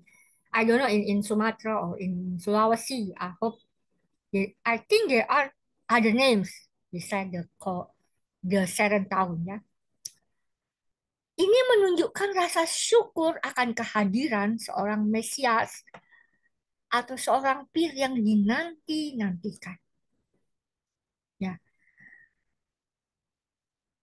Walaupun itu ada secara historis seperti itu, tapi juga ada tanda itu. Kita bersyukur. Akhirnya, akhirnya Mesias itu, akhirnya pir kita itu ada pada masa itu. Dan itu diceritakan kan setelahnya. Jadi, uh, mursyid yang bernama Lukas atau Theophilus itu dia meletakkan tanda itu sebagai rasa syukur. Bukan hanya bukan hanya secara historis begitu syukur. Kemudian digunakan tanda gua di dalam Injil Yakobus itu berkaitan dengan adanya satu misteri atau sesuatu yang ajaib dari seorang Mesias yang akan mengalami raja'ah paling awal. Dibangkitkan tubuhnya seperti Khidir dan Elia dan kemudian akan hidup panjang sekali untuk membimbing dan mengasuh di dalam kebaik kegaiban. So it's not magic, it's go it means occultation. Again, it's a stupid Google translator. Hmm. Kalau di dalam Al-Quran simbolnya adalah pohon palem atau pohon kurma. Ya, kurma itu kan sejenis palem ya. Itu adalah simbol tauhid. So it is a symbol of tauhid. Mengko itu sebetulnya justru mengkonfirmasi Lukas 2 ayat 14 ini. Nah, sekarang coba kita ingat-ingat cerita di dalam Injil Wahyu. Injil Wahyu itu kan ditulis di Patmos, dan nama Patmos itu berkaitan dengan palem. Jadi Yohan, seorang murid yang bernama Yohanes itu diasingkan di satu tempat, di satu pulau di Mediterania bernama Patmos. Jadi sesuatu yang historis juga memiliki makna. Dan makna itu ada berkaitan dengan tauhid. Dan di Patmos, Yesus itu, eh, baginda Yesus menubuatkan kepada muridnya atau dan musahibnya Yohanes yang mentransmisikan Injil Yohanes dan Wahyu akan hadirnya Nabi Muhammad, akan munculnya agama Islam, akan munculnya Al-Quran dan Al-Ja'far, kitab Al-Ja'far, dan karenanya akan muncul ahli bait Imam Ali. Itu yang pertama. Nah, kalau untuk penjelasan yang kedua, kita lihat kata-katanya bahwa para malaikat menyampaikan puji-pujian kepada Allah sebagai maha mulia dan mereka juga menyerukan tentang Islam di bumi. Nah, sekarang sekali lagi di belakang menekankan konsep yang sederhana mengenai tauhid yang diekspresikan di dalam tiga ekspresi, tiga ayat di dalam sepuluh perintah Allah. Ya kan, tadi dibacakan oleh uh, Asmi, ya. Uh, Akulah Yahwahu, Gusti Allahmu. Jangan ada Gusti Allah selain aku. Dan jangan menyebut Gusti Allah dengan sia-sia. Tiga, tiga konsep tauhid Nah, persoalan dari kekristenan kemudian setelah abad kedua, sejak sejak abad yang bukan setelah, sejak abad kedua itu bukan uh, bukan ekspresinya. Karena banyak banget ya ada ekspresi tentang uh, geofisit, fisit, itu adalah ekspresi-ekspresi trinitarian atau ekspresi yang non trinitarian dan arianisme non trinitarian itu seperti yang kita diskusikan uh, minggu lalu ada gereja unitarian ya. Nah, apa persoalannya mereka? Selama ini orang Islam atau orang Yahudi itu kalau berantem dengan orang Kristen fokusnya kepada uh, ekspresinya. Tapi sebetulnya apa persoalannya? Persoalannya adalah sebetulnya di tiga ayat sepuluh perintah Tuhan itu apa sebetulnya? Kan ada janganlah menciptakan patung atau berhala atau konsep apa pun tentang aku. Dan jangan menyebut namaku dengan sia-sia. Artinya, kesalahannya itu bukan kepada ekspresinya itu sendiri, tapi kepada bagaimana ekspresi-ekspresi itu ditetapkan sebagai kriteria iman apakah itu konsubstansialis, apakah itu trinitarian, apakah itu diofisis kalsedonian, apakah itu geofisit nestorian, apakah itu arianisme, ataukah itu monofisit, ataukah itu dunia fisit. Apa pun itu. Makanya mereka itu saling berantem. Itulah masalahnya. Kalau kita menerapkan satu-satunya konsep teologi, satu-satunya ekspresi teologi, sebagai satu-satunya konsep yang harus menjadi iman kita. Seharusnya yang namanya konsep tauhid itu simple. Nggak bikin bingung. Ya, pokoknya yang penting Allah itu Maha Esa. Mau mau kita memahami kemudian saya memahaminya ah, Allah itu bisa lima unsur. Mbah Wiganto enggak tujuh unsur Allah itu. Itu terserah, tapi kita nggak tetapkan itu sebagai satu-satunya kriteria iman. Dan semua secara natural kita percaya bahwa hanya ada satu realitas, bukan? Nah, kemudian and I juga menekankan tentang jalan Islam adalah jalan yang akan dibentangkan oleh Yesus sebagai Mesias yang dinanti-nantikan. Meskipun Injil Matius itu, ini bukan Injil Lukas, ya, Injil Matius itu mengatakan bahwa aku tidak datang membawa Islam. Aku tidak datang, maksudnya aku tidak datang membawa gerakan dan tarekat Islam seperti Nabi Muhammad. Tapi aku aku, aku bawa pedang. Oh, pedang di situ maksudnya ada firman. Ya, betul memang pedang itu adalah firman. Nah, tapi itu tidak berarti berselisih dengan Injil Lukas. Justru itu ada satu kesatuan yang akan semakin dipahami dengan kehadiran Rasulullah Shallallahu Alaihi Wasallam. Nah, kehadiran Yesus itu menandai permulaan dari zaman kelima. Yang zaman kelima itu ditutup oleh kelahiran Imam Mahdi. Tadi dibacakan di dalam Sema. Alhamdulillah itulah uh, pembahasan kita pada malam ini dan ini adalah saatnya kita saling mendiskusikan atau yang ingin bertanya dan dan sebagainya boleh dengan chat atau tanya sebentar. Eh, ada yang mengatakan hmm, Oke, terima kasih kepada Mas Firman Sabar uh, dan juga Mas Rudianto Roseng. Terima kasih telah hadir pada malam ini. Ya, silakan yang mau bertanya dan mendiskusikan dan lain sebagainya. Monggo.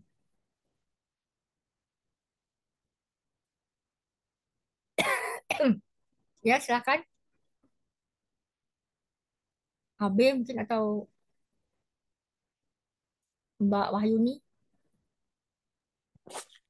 Ya Mbak, boleh bertanya. Ya silakan. Uh, itu kan tadi tentang uh, Yesus dari uh, apa namanya Injil ya Mbak ya, mm -mm. dan Matius. Mm -mm. Uh, yang saya tanyakan begini, orang-orang uh, Islam itu sering uh, beranggapan uh, ini adalah dua tokoh yang berbeda gitu loh antara hmm. Isa putra Maryam dan dan juga uh, Jesus Christ ya uh, Isa hmm. mas, uh, masih karena uh, apa namanya referensinya mungkin agak berbeda ataupun penyebutannya juga berbeda hanya hmm. karena istilah saja. Hmm. Uh, boleh tolong dikomentari Mbak atau dikasih apa uh, penjelasan? Terima kasih. Terima kasih. Hmm. Saya pikir uh, pemahaman bahwa Yesus Kristus dan Isa Masih itu adalah sosok berbeda di dalam kalangan Muslim itu justru muncul karena adanya pengaruh Protestanisme. Jadi itu bukan dari uh, kalangan Muslim sendiri. Uh, karena sepertinya ketika sebelum masa kolonialisme ini tidak menjadi masalah bagi kita bagi muslim maksud saya nggak jadi masalah karena toh eh, banyak sekali kalau kita membaca dari pemahaman kata-kata para ulama itu tidak tidak ada yang ingin mengatakan bahwa Yesus yang ada di dalam Injil dengan Yesus yang ada di dalam Al-Quran itu adalah sosok yang berbeda. Dan uh, itu baru muncul setelah masa atau semasa kolonialisme. Nah, kolonialisme itu adalah juga masa kebangkitan protestanisme dan itu mempengaruhi cara kita berpikir terhadap teks-teks dan transmisi Nah, uh, Protestanisme juga uh, mempengaruhi cara kita melihat dan membaca mitos-mitos dan lain sebagainya. Dan uh, Protestanisme ini sering kali seperti yang telah saya bahas, ya, dia pernah mengatakan mitos itu adalah secara dia memahami mitos itu secara sedemikian logos. Maksudnya logos bukan logos di dalam kata Injil Yohanes ya bukan ini logos dalam arti pendekatan saintifik. Ya. Jadi cerita dongeng atau cerita mitologis itu dipahami secara demikian tekstual. Kehilangan makna-makna simboliknya. Gitu. Misalnya ada satu tuh di, di Amerika ya, dia membangun museum Nabi Nuh di Kentucky kalau nggak salah. Uh, dia benar-benar yakin bahwa dunia itu baru diciptakan 6000 sebelum masih eh, 6000 sebelum masih atau 6000 tahun gitu kan. Saya lupa. Menurut mereka pokoknya intinya mereka begitu tekstual memahaminya. Ini pengaruh protestanisme. Dan saya mengatakan ini karena itu yang disampaikan para peneliti Alkitab sendiri dari kalangan Protestan dan Katolik sendiri. Jadi saya nggak mengatakan itu sebagai orang Islam. Ketika saya membaca mereka, misalnya disampaikan oleh uh, siapa? Karen Armstrong, sorry ya, Karen Armstrong itu mengatakan begitu. Dan saya memahami itu, oh berarti kok Islam itu kemudian juga memahami seperti itu. Padahal kalau kita baca di kitab-kitab yang dulu nggak seperti itu. Kitab-kitab para ulama pada zaman dulu. Nggak ada itu kayak, oh, biasa nggak. Mereka hanya menanggapi bagaimana orang Kristen melihat Yesus. Misalnya Imam Al-Ghazali dalam menanggapi Yesus di dalam kitabnya Al Al-Rat Al-Jama atau Jama Harat disebut. Itu uh, hanya menanggapi teologinya kekristenan. Tetapi kepada sosok Yesus sendiri enggak. Gitu. Bukan masalah historisnya. Jadi kepada teologi. Tadi seperti saya katakan secara iman. Artinya itu abad berapa? Imam Al-Ghazali. Abad ke-12 sebelum masa penjajahan. Masa penjajahan itu setidak-tidaknya setelah abad ke-14. Uh, dan perlu dipahami ya, seperti hanya di India. Di India itu juga mengalami ketika Portugis datang ke situ, mereka kaget. Oh, ternyata sudah ada kekristenan di sini. Dan kemudian mereka bahkan melakukan pemaksaan terhadap gereja yang sudah ada di situ menjadi gereja Katolik seperti mereka. Ini belum lagi nanti hadirlah yang Protestan. Nah, inilah persoalan dari uh, pendekatan uh, Protestanisme. Ini yang pertama ya Mbak. Ada pengaruh Protestanisme. Ini yang pertama. Yang kedua, kenapa kemudian juga orang Islam itu merasa perlu, kayaknya merasa perlu banget Yesus dan Isa itu beda. Karena tidak sepakat dengan doktrin-doktrin di dalam kekristenan, terutama doktrin penebusan dosa. Kita sering kali mencampur adukan antara yang kita nggak ingin dengan kenyataannya. Maksudnya begini.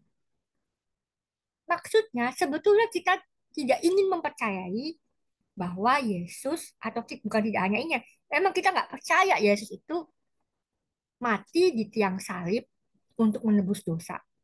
Apa soalnya kan itu? Untuk menebus dosa itulah yang kita persoalkan. Kita nggak percaya itu. Sedangkan apakah iya? Yesus itu tidak apakah iya Yesus itu bebas gitu nggak dipersekusi mungkin nggak seorang musik pada masa itu yang melawan Romawi tidak dipersekusi oleh Romawi nggak masuk akal entah itu mau disalib entah itu mau ditenggelamkan entah itu mau dibakar pasti dipersekusi karena dia memimpin satu gerakan yang mengguncang pemerintahan Romawi. Dan itu ada masa-masa munculnya banyak pemberontakan terhadap penjajah Romawi. Jadi, yang lebih masuk akal adalah sang nabi, sang musyrik yang bernama Yesus atau Isa itu adalah seorang musyrik yang pasti mengalami persekusi. Nggak apa pun lah mau diracun kayak dipenggal seperti Imam Husain kayak atau disalib kayak tapi yang paling lazim hukumannya adalah disalib nah dan uh, secara historis itu sangat mungkin para pemberontak itu disalib itu paling lazim terjadi pada masa pemerintahan Romawi Jadi nggak masalah kita mau menerima Yesus itu disalib atau dibakar atau dipenggal atau dia bisa melarikan diri setelah dipersekusi, persekusi, oke. Tapi yang kita nggak bisa terima adalah beliau disalib untuk menebus dosa. Itu masalah kita aja. Ah, karena itu terlalu teologis, itu terlalu itu sama seperti tadi kasus teologi sebagai kriteria iman ditetapkan. Ah, padahal bebas aja kita memahami, oh dia dipersekusi karena untuk uh, untuk menyelamatkan kita. Oh dia dipersekusi karena dia uh, apa melawan pemerintah apa pun itu. Tapi itu bukan menjadi satu kriteria iman. Ya. Jadi ada dua hal yang setidaknya itu yang bisa saya sampaikan. Ada dua hal yang paling pokok. Kenapa orang Islam merasa perlu untuk membedakan. Kalau orang Protestan, ya mereka punya pendekatan seperti itu wajar. Kemudian Katolik kemudian punya dipengaruhi oleh pendekatan Protestan. Jadi ketika saya ada di Vatikan beberapa tahun yang lalu itu orang orang Katolik itu sangat banyak dipengaruhi oleh pendekatan Protestan dalam memahami Alkitab. Dan itu sendiri di kalangan Katolik itu sendiri mereka menolak banyak banyak perdebatan di antara mereka. Kita jangan terlalu kayak Protestan dalam memahami Alkitab. Itu sendiri di dalam Katolik seperti itu. Itu saya alami ketika saya ada di kelas ya. Jadi saya bukan menyampaikan asal-asalan juga. Uh, itu. Kemudian di dalam Islam ini juga disampaikan oleh para sarjana bahwa banyak sarjana muslim yang dipengaruhi oleh pendekatan protestan. Jadi bukan saya juga yang menyampaikan. Begitu Mbak Wahyuni. Ya, terima kasih Mbak. Iya. Terima kasih. Tapi saya sudah menjelaskan ya, pernah saya tulis juga di uh, Facebook, kenapa kok namanya Isa Almasih gitu kan. Apa kok namanya bukan uh, Yesua gitu. hmm. Itu juga ada. Uh, kenapa seperti itu? Ada lagi mungkin. Oke. Okay. Herman sedang di jalan. Baik. Ada lagi yang mungkin ingin bertanya? So anyone want to ask about our Injil Lukas?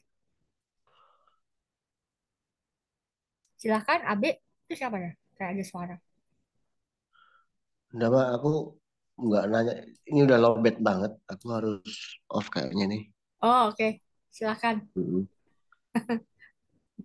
Iya, sebenarnya menarik sekali. Tadi aku kepingin anu sebenarnya itu yang ketika komparasi antara ketika kita sudah melakukan komparasi itu misal hmm. antara kita jadi bisa mereka-reka ya apa namanya oh ini situasinya begini oh ini konteksnya seperti ini gitu jadi hmm. hmm.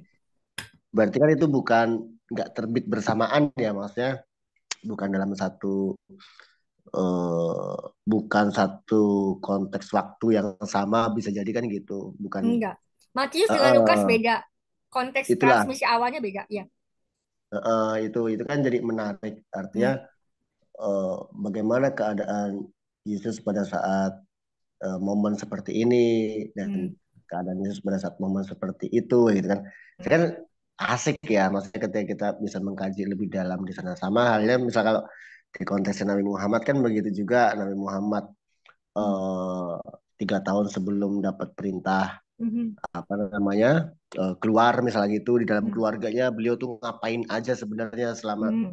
bertahun-tahun gitu kan apa mm-hmm. yang disiarkan apakah sama dengan yang disiarkan keluar misalnya gitu mm-hmm. ini kan hal seperti itu kadang-kadang jauh lebih menarik tuh gitu karena yeah. ada aspek-aspek konteks yang aja kita jadi lebih mengenal kesosokan Eh, beliau-beliau uh, itu dari sisi uh, apa ya ya sisi praktisnya mm-hmm. gitu loh terus ketika mm-mm, gitu pada saat uh, kita bisa bisa bisa menghayati aspek psikologisnya kejiwaannya mm. keumatannya saat itu seperti apa gitu dan bagaimana Gitu. itu diterima oleh seorang murid. Misalnya Ya, antara benar. kamu dengan Herman itu pasti menerima saya itu beda. Wah, kalau bagi Betul. Abe, Mbak Gayatri itu misalnya seperti seorang kakak. Bagi Herman mungkin seperti seorang ibu. Kan? Se- Bagi Mbah Wijanto mungkin saya seperti seorang anak atau seorang adik perempuan gitu kan. Beda kan? Benar-benar. Seperti itu. Jadi Betul. an- makanya karena itu Lukas, Matius, eh, Yohanes, Markus, eh, Yakobus, Thomas itu para murid murid-murid Mm-mm. perdana itu Dan beda. betul. Dan tangkapan murid gitu itu juga menarik gitu ya. Mbak. Misalnya contohnya gini. Misal saya ambil misalnya komparasi dengan Nabi Muhammad. Hmm. Nabi Muhammad mungkin ditangkap oleh sosok seperti Abu Zar al-Ghifari yang seorang pejuang, yang seorang eh, kabilah yang eh, apa pimpinan kabilah yang notabene eh, tipikalnya itu survive, Mm-mm. terus kemudian berjuang, perang, revolusi kayak gitu loh. Hmm. Tangkapan tangkapannya beliau tentang petua-petuanya Rasulullah akan berbeda mungkin dengan eh, tangkapan sahabat siapa atau sosok siapa yang eh, relatif mungkin lebih ke hal sifatnya teologis mungkin atau Hmm. gnostik atau hal sifatnya ajaib mungkin atau tentang wali-wali yang makom-makoman misalnya gitu. Mhm. Ini kan eh, ini kan menarik nih. Bisa jadi kan mempengaruhi gaya penulisannya, mempengaruhi gaya perspektif eh, apa namanya? Bagaimana dia mensiarkan ke kaumnya. Kan Hmm. Dhar Ghifari punya kaum nih, Mm-mm. Ghifar misalnya gitu. Ah, Berarti Hmm. kan dia juga akan menjelaskan ke kaumnya. Nah, itu dengan perspektif dia kan kayak gitu. Hmm. Ini kan juga menarik. gitu. Bisa jadi seperti bisa jadi eh, berkaitan dengan apa namanya eh, murid-murid Yesus pun juga demikian ya gitu loh. Hmm. Ada yang kecenderungannya seperti apa, ada kecenderungannya seperti apa. Hmm. Jadi begitu. Mhm. Saya mungkin saja, misal ada yang kemudian membangun satu penjelasan, oh penebusan dosa. Tapi Mm-mm. di satu sisi eh, dia, oh enggak, beliau mewakili kami kaum seperti halnya misal Mel Gibson di film Braveheart misalnya gitu kan. Mhm. Dia mewakili, eh, dia terbunuh seorang pemimpin misalnya gitu. Hmm. Kan seperti itu. Tapi Hmm. ada yang kemudian mentafsiri bahwa eh, sosok beliau adalah tumbal, maksudnya Sayyidina Husain misalnya gitu. Mhm. Oh, itu menebus gitu kan, Hmm. menebus sebuah tebusan apa sembelihan agung misalnya gitu, Mhm. mengganti. Nah, ini kan, tapi perspektif yang lain mengatakan ini sebuah revolusi karena penegakan keadilan gitu, Mhm. Iya. penegakan. Nah, gitu-gitu itu asik gitu loh Mbak sebenarnya Hmm. mengambil eh, apa ya nilai-nilai yang lebih eh, bisa eh, apa eh, di di di kontekskan sih itu. Aku Hmm. aku asik tuh di situ. Mhm. Iya. Makanya itu tidak bisa menjadi satu ketetapan atau kriteria iman dalam keberagaman ini. Kita tidak bisa menyatakan bahwa pokoknya salah. Selain menganggap penebusan dosa salah. Ah, ya nggak? Di situlah Iya iya betul persoalannya. betul. Hmm. Kalau misalnya diri, dirimu ingin memahami Yesus itu adalah anak Allah, misalnya. Terus ada orang lain nggak bisa, Yesus itu kan anak Allah. Tapi nggak apa-apa. Toh kamu mungkin juga memahami dia sebagai anak Allah bukan secara biologis kan. Tapi persoalannya adalah ketika menetapkan, pokoknya kok kamu nggak meyakini bahwa Yesus itu bukan anak Allah, itu tidak sesuai dengan iman. Nah, itu persoalannya. Eh, Iya iya nah, iya begitu. iya benar benar. Oke oke. Sip. Makasih Abe. Dia dari awal sudah datang sampai baterainya lowbat. Ya, mungkin ada lagi ya yang lain? Ya, mana lagi di jalan jadi nggak mungkin bertanya. Mas Adi mungkin Boleh. Mbak, saya Mbak siapa ya silakan tarik. Eh, gini, Mbak, Salik, Salik. Hmm, Nah, ini yang saya tangkap sambil nyetir tadi. hmm, Kan eh, berarti kalau dari dipandang dari sudut mhm, berkemungkinan tidak kurang dari 14 orang Yesus itu kan begitu tadi ceritanya. hmm, Mana tahu saya salah tangkap tuh. hmm, Tapi ini bukan masalah eh, pendekatan ideologi atau hmm, karena berdasarkan dari keterangan-keterangan yang ada di Injil begitu ya Pak. Makanya sampai terjadi bisa jadi 14 orang Yesus itu gitu Oke, yang saya dimaksud. saya coba jawab ya. Jadi di dalam penelitian saya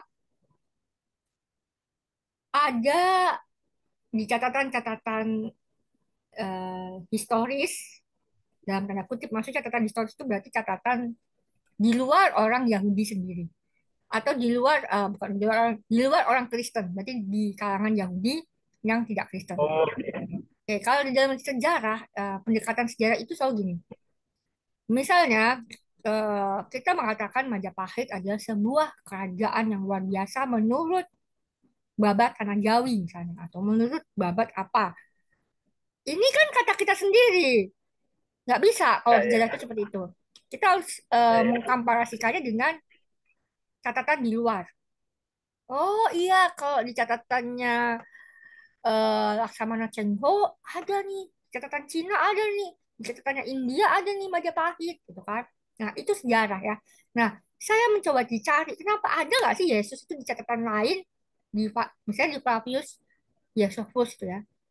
Dia kan bukan orang Kristen, dia orang Yahudi tapi dia orang Kristen. Eh, bukan orang Kristen.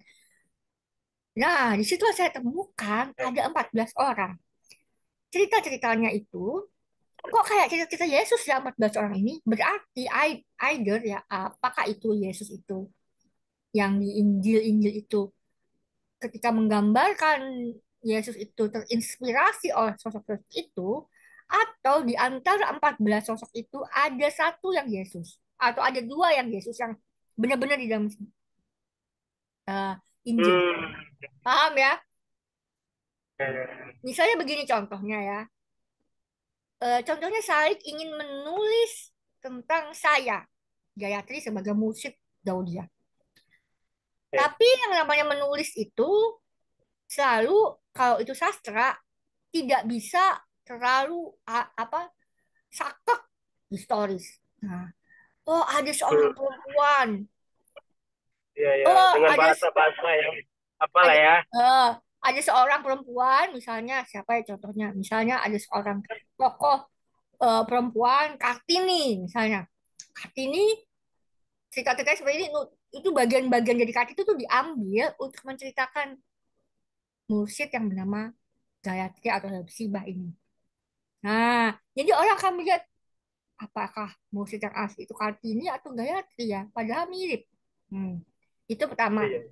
Nah, terus yang kedua, oh, iya. uh, uh, Terus yang kedua, um, ada hal-hal di dalam sejarah itu kan, misalnya tadi sudah saya sampaikan, saking banyaknya 14 itu menceritakan sosok yang mirip Yesus, ya siapa nih di antara 14 ini yang ada Yesusnya gitu kan? Nah, tuh. Hmm.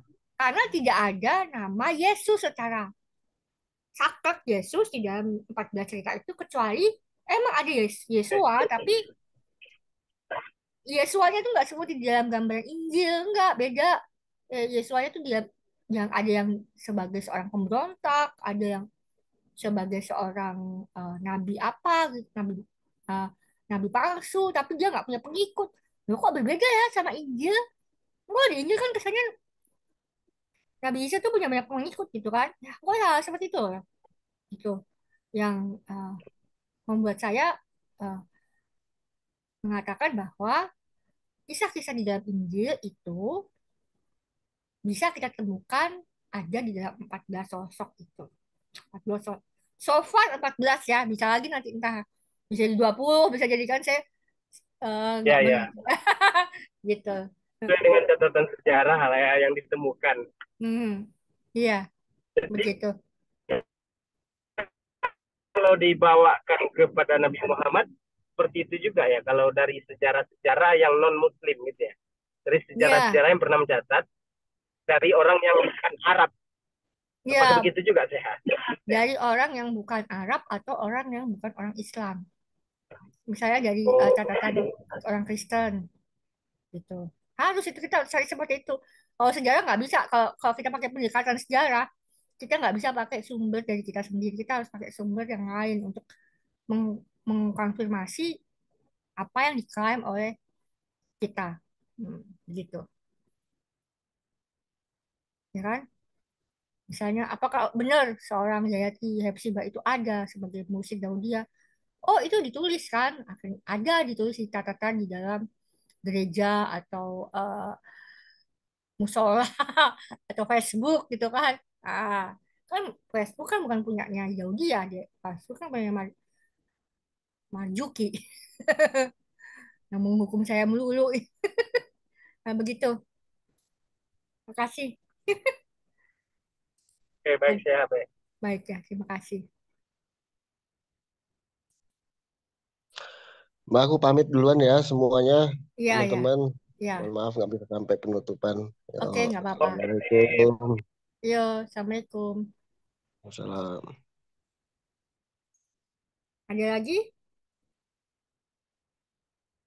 Apakah ada lagi? Jadi sebenarnya kita bisa kalau kita bisa tutup bareng-bareng dengan Abi. Mbak Wahyuni nggak ada atau yang baru-baru mungkin nggak apa-apa kalau mau bertanya dipersilahkan. Ke Mas Adi. Mas Adi, uh, kopi, kopinya kopinya pahit ya? Kelapa, kelapa. Oh, kelapa. Kirain kopi. Ini malah barusan nemu kopi tapi vodka mbak infuse. Aduh, mabuk dong. Enggak, kayaknya sih enggak. Saya kalau minum sedikit enggak mabuk. Mabuknya yang lain saya pasti. Aduh, iya ya. Ini kalau offline ini saya bisa kasih wine. Tapi wine-nya nggak alkohol sih. Takutnya soalnya ada yang apa intoleran terhadap alkohol. ya. Ada lagi kalau nggak ada kita tutup aja nih. Udah jam 10. Oke, kalau nggak ada lagi, Alhamdulillah kita tutup saja. Uh, saya tutup, uh, saya sampaikan. Nggak bisa ya. Nah, ah, sebelum saya tutup, saya ingin memberikan uh, beberapa closing statement, ya, bahwa cara kita memahami Injil, Al-Quran, um, Taurat, dan Zabur, ketika kita mempelajari dan mendalami dari Love and I, itu kita memang mau nggak mau kita tidak bisa menggunakan framework yang sama seperti yang ada di kalangan kekristenan, Islam, dan Yudaisme saat ini. Tapi itu adalah pendekatan yang mungkin kalau biasa di dalam sufi itu adalah pendekatan yang biasa. Di mana um, ya pendekatan itu berarti oke okay, kita bisa terima dari konsensus, ijma gitu kan. Tapi kita selidiki lagi.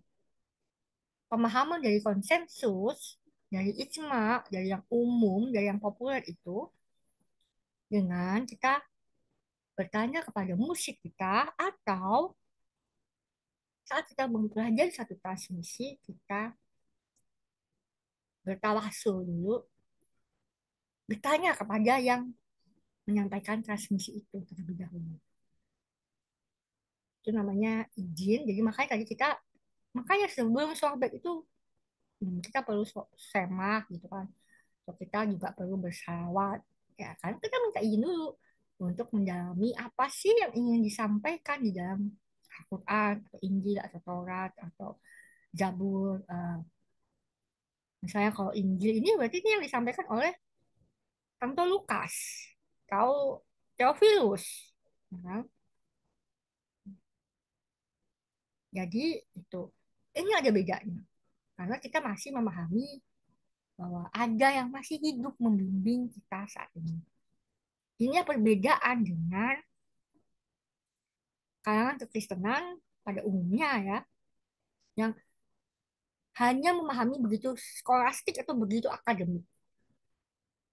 Kalau kita, ya oke okay, kita pakai kita pakai rasional, kita akademik, kita pakai skolastik ya, berfilsafat dan lain sebagainya. Tapi itu dalam rangka memahami itu maksudnya apa sih setengahnya dalam hati kita berdoa, ya Allah ini maksudnya apa sih yang engkau mau?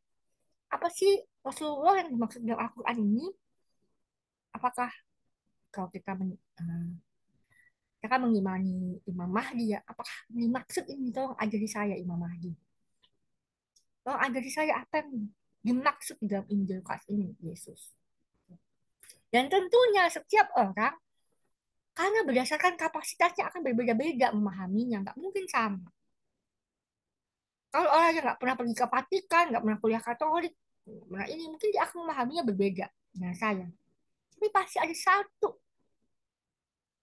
ada satu jalur yang sama yang membuat kita tidak melihat ada perselisihan. Nah, itulah yang ditemukan oleh Syekh Ali Haidar, Thomas McElwain, ya, uh, setelah bertahun-tahun dia mengalami transmisi dari neneknya. Dan orang itu selalu mengatakan pokoknya Alkitab itu beda dengan Al-Quran pokoknya Injil itu beda dengan Al-Quran pokoknya Taurat itu beda dengan Injil kan. Perselisihan yang gak ada habisnya tapi beliau karena beliau menerima transmisi dari neneknya dan mendapatkan satu framework dari neneknya mengenai transmisi, maka beliau mencari, meneliti, mendalami, dan menemukan, oh kalau begini, nggak mungkin namanya ada perselisihan. Karena frameworknya itu sudah ditetapkan oleh neneknya. Dan salah satu framework itu adalah kalau kita pakai Dekalog. Jelas itu Dekalog 10 perintah Tuhan. Dan juga kalau kita pakai framework kita bertanya langsung kepada empat rijal itu ya. Uh, kalau mungkin kalau di dalam sufisme yang lain makanya mereka mungkin bisa memahami Injil begini, Taurat begini, Zabur begini dengan kapasitasnya mereka dengan bimbingan dari misalnya Nabi Khidir atau Imam Mahdi dan seterusnya. Mungkin begitu uh, closing statement dari saya. Uh, kita tutup dengan doa.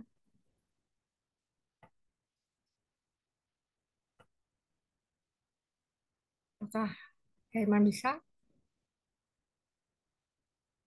Herman nggak bisa ya? Kalau Herman nggak bisa, mungkin mohon Mbak Wayuni bisa dibacakan.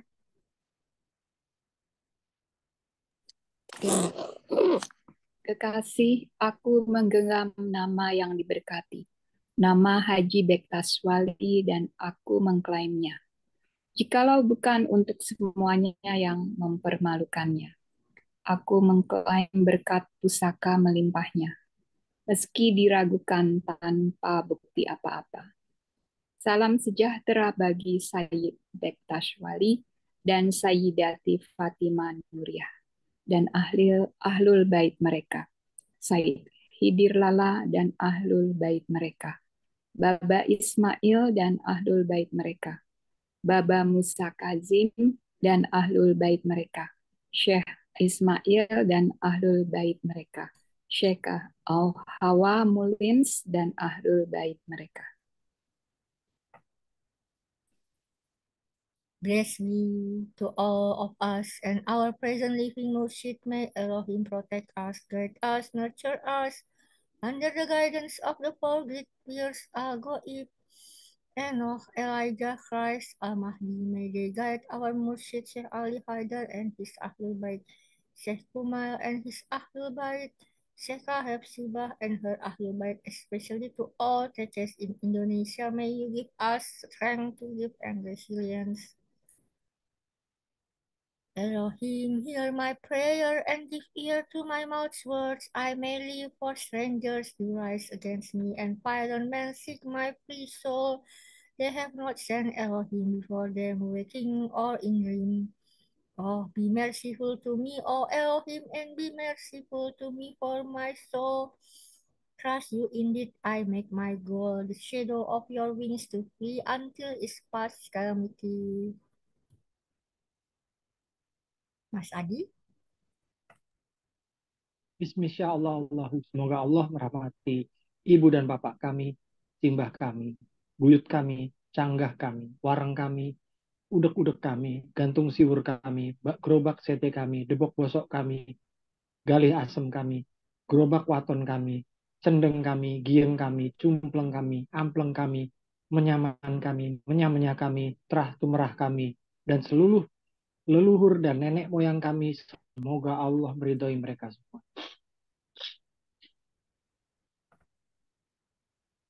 Bismillah Allah Allahu. Semoga Allah merahmati pasangan kami, anak-anak kami, cucu kami, buyut cicit kami, canggah kami, wareng kami, udek-udek kami, gantung siur kami, gerobak sente kami, debok bosok kami, gali asem kami, gerobak waton kami, cendeng kami, gieng kami, cumpleng kami, ampleng kami, menyaman kami, menyamnya kami, terah tumrah kami sekalian. Semoga mereka semua diberkati dengan petunjuk empat pir rijal al-Qaid. Beloved, I seek the blessing of the word that called David from field of beasts and bird to rule with rod of iron and the lost road. I sought the blessing when I was a youth and seek it now and always faithfully. Bismillah Allah Allahu. Beloved, I feed upon your mercy when I wake from troubled slumber among men and when I walk the marketplace and see the busy lips progressing around me, I feed upon your mercy even then. Bismillah Allah Allahu. May Elohim do good to us and may he mind his part on us of Abraham, Isaac, and Jacob, his faithful servants come to shake up. May he give us, may he give all of us a heart to worship him and do his part with courage and a willing mind. May he open our heart not blind to his law and his commandments. May he bring peace in our tents. May he hear our, our prayers and reply, not leaving you in time to die. We are now praying for all here. Pada malam hari ini, kami mengajukan doa doa khusus Semoga kiranya Maha Guru kami, Nabi Khidir, dan Maha Guru kami, Eliyahu Hanafi, dan Maha Guru kami, Tuhan Baginda Yesus Kristus, dan Maha Guru kami, Datuk kami, Imam Al-Mahdi, semoga kiranya mendoakan kami dan mendoakan doa-doa kami. Doa apa pun yang saat ini kami butuhkan dan sangat kami harapkan karena kebanyakan dari kami dan pada umumnya kami ini berada di dalam keputusasaan. Seperti di dalam masalah keuangan, di dalam masalah kesehatan fisik dan mental, di dalam masalah pekerjaan-pekerjaan kami, dan di dalam masalah kami dengan sesama manusia, hubungan kami dengan manusia yang lain dan juga masalah kami dengan tuntutan-tuntutan masyarakat. Begitu juga dengan penindasan dan ketidakadilan yang kami alami. Ya Allah, berkatilah dan lindungilah negara kami Indonesia, Finlandia, dan negara-negara dan bangsa-bangsa lain di mana terdapat TT-TT Gaudia secara khusus. Karena sebentar lagi kami akan mengadakan pemilu di Indonesia. Dan kiranya bantulah saudara-saudara kami yang ada di Palestina saat ini. Karena ini sudah hari yang mungkin ke-75 atau ke-76 perangan di sana saat ini. Bantulah saudara-saudara kami yang ada di Palestina dan sekiranya ini mungkin berikanlah kesadaran kepada para penguasa di dunia dan juga yang ada di Israel dan rakyat di sana untuk merektifikasi diri mereka. Dan kami semua di dunia dan saudara-saudara kami yang ada di Palestina kembali meraih keadilan mereka dan bebaskan kami semua dari penindasan dan ketidakadilan. Berikanlah kami semua dan keluarga kami dan mereka yang ada di Palestina saat ini kekuatan, kesabaran, keelingan, kewaspadaan, dan kasih sayang.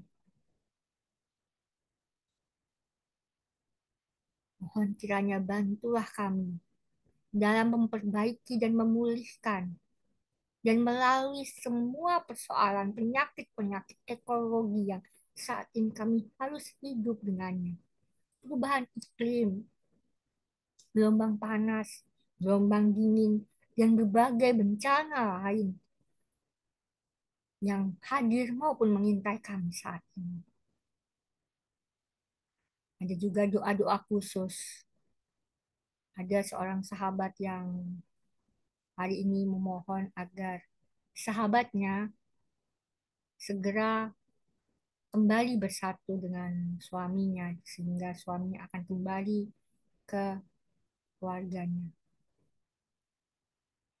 Dan doa khusus lain, semoga kiranya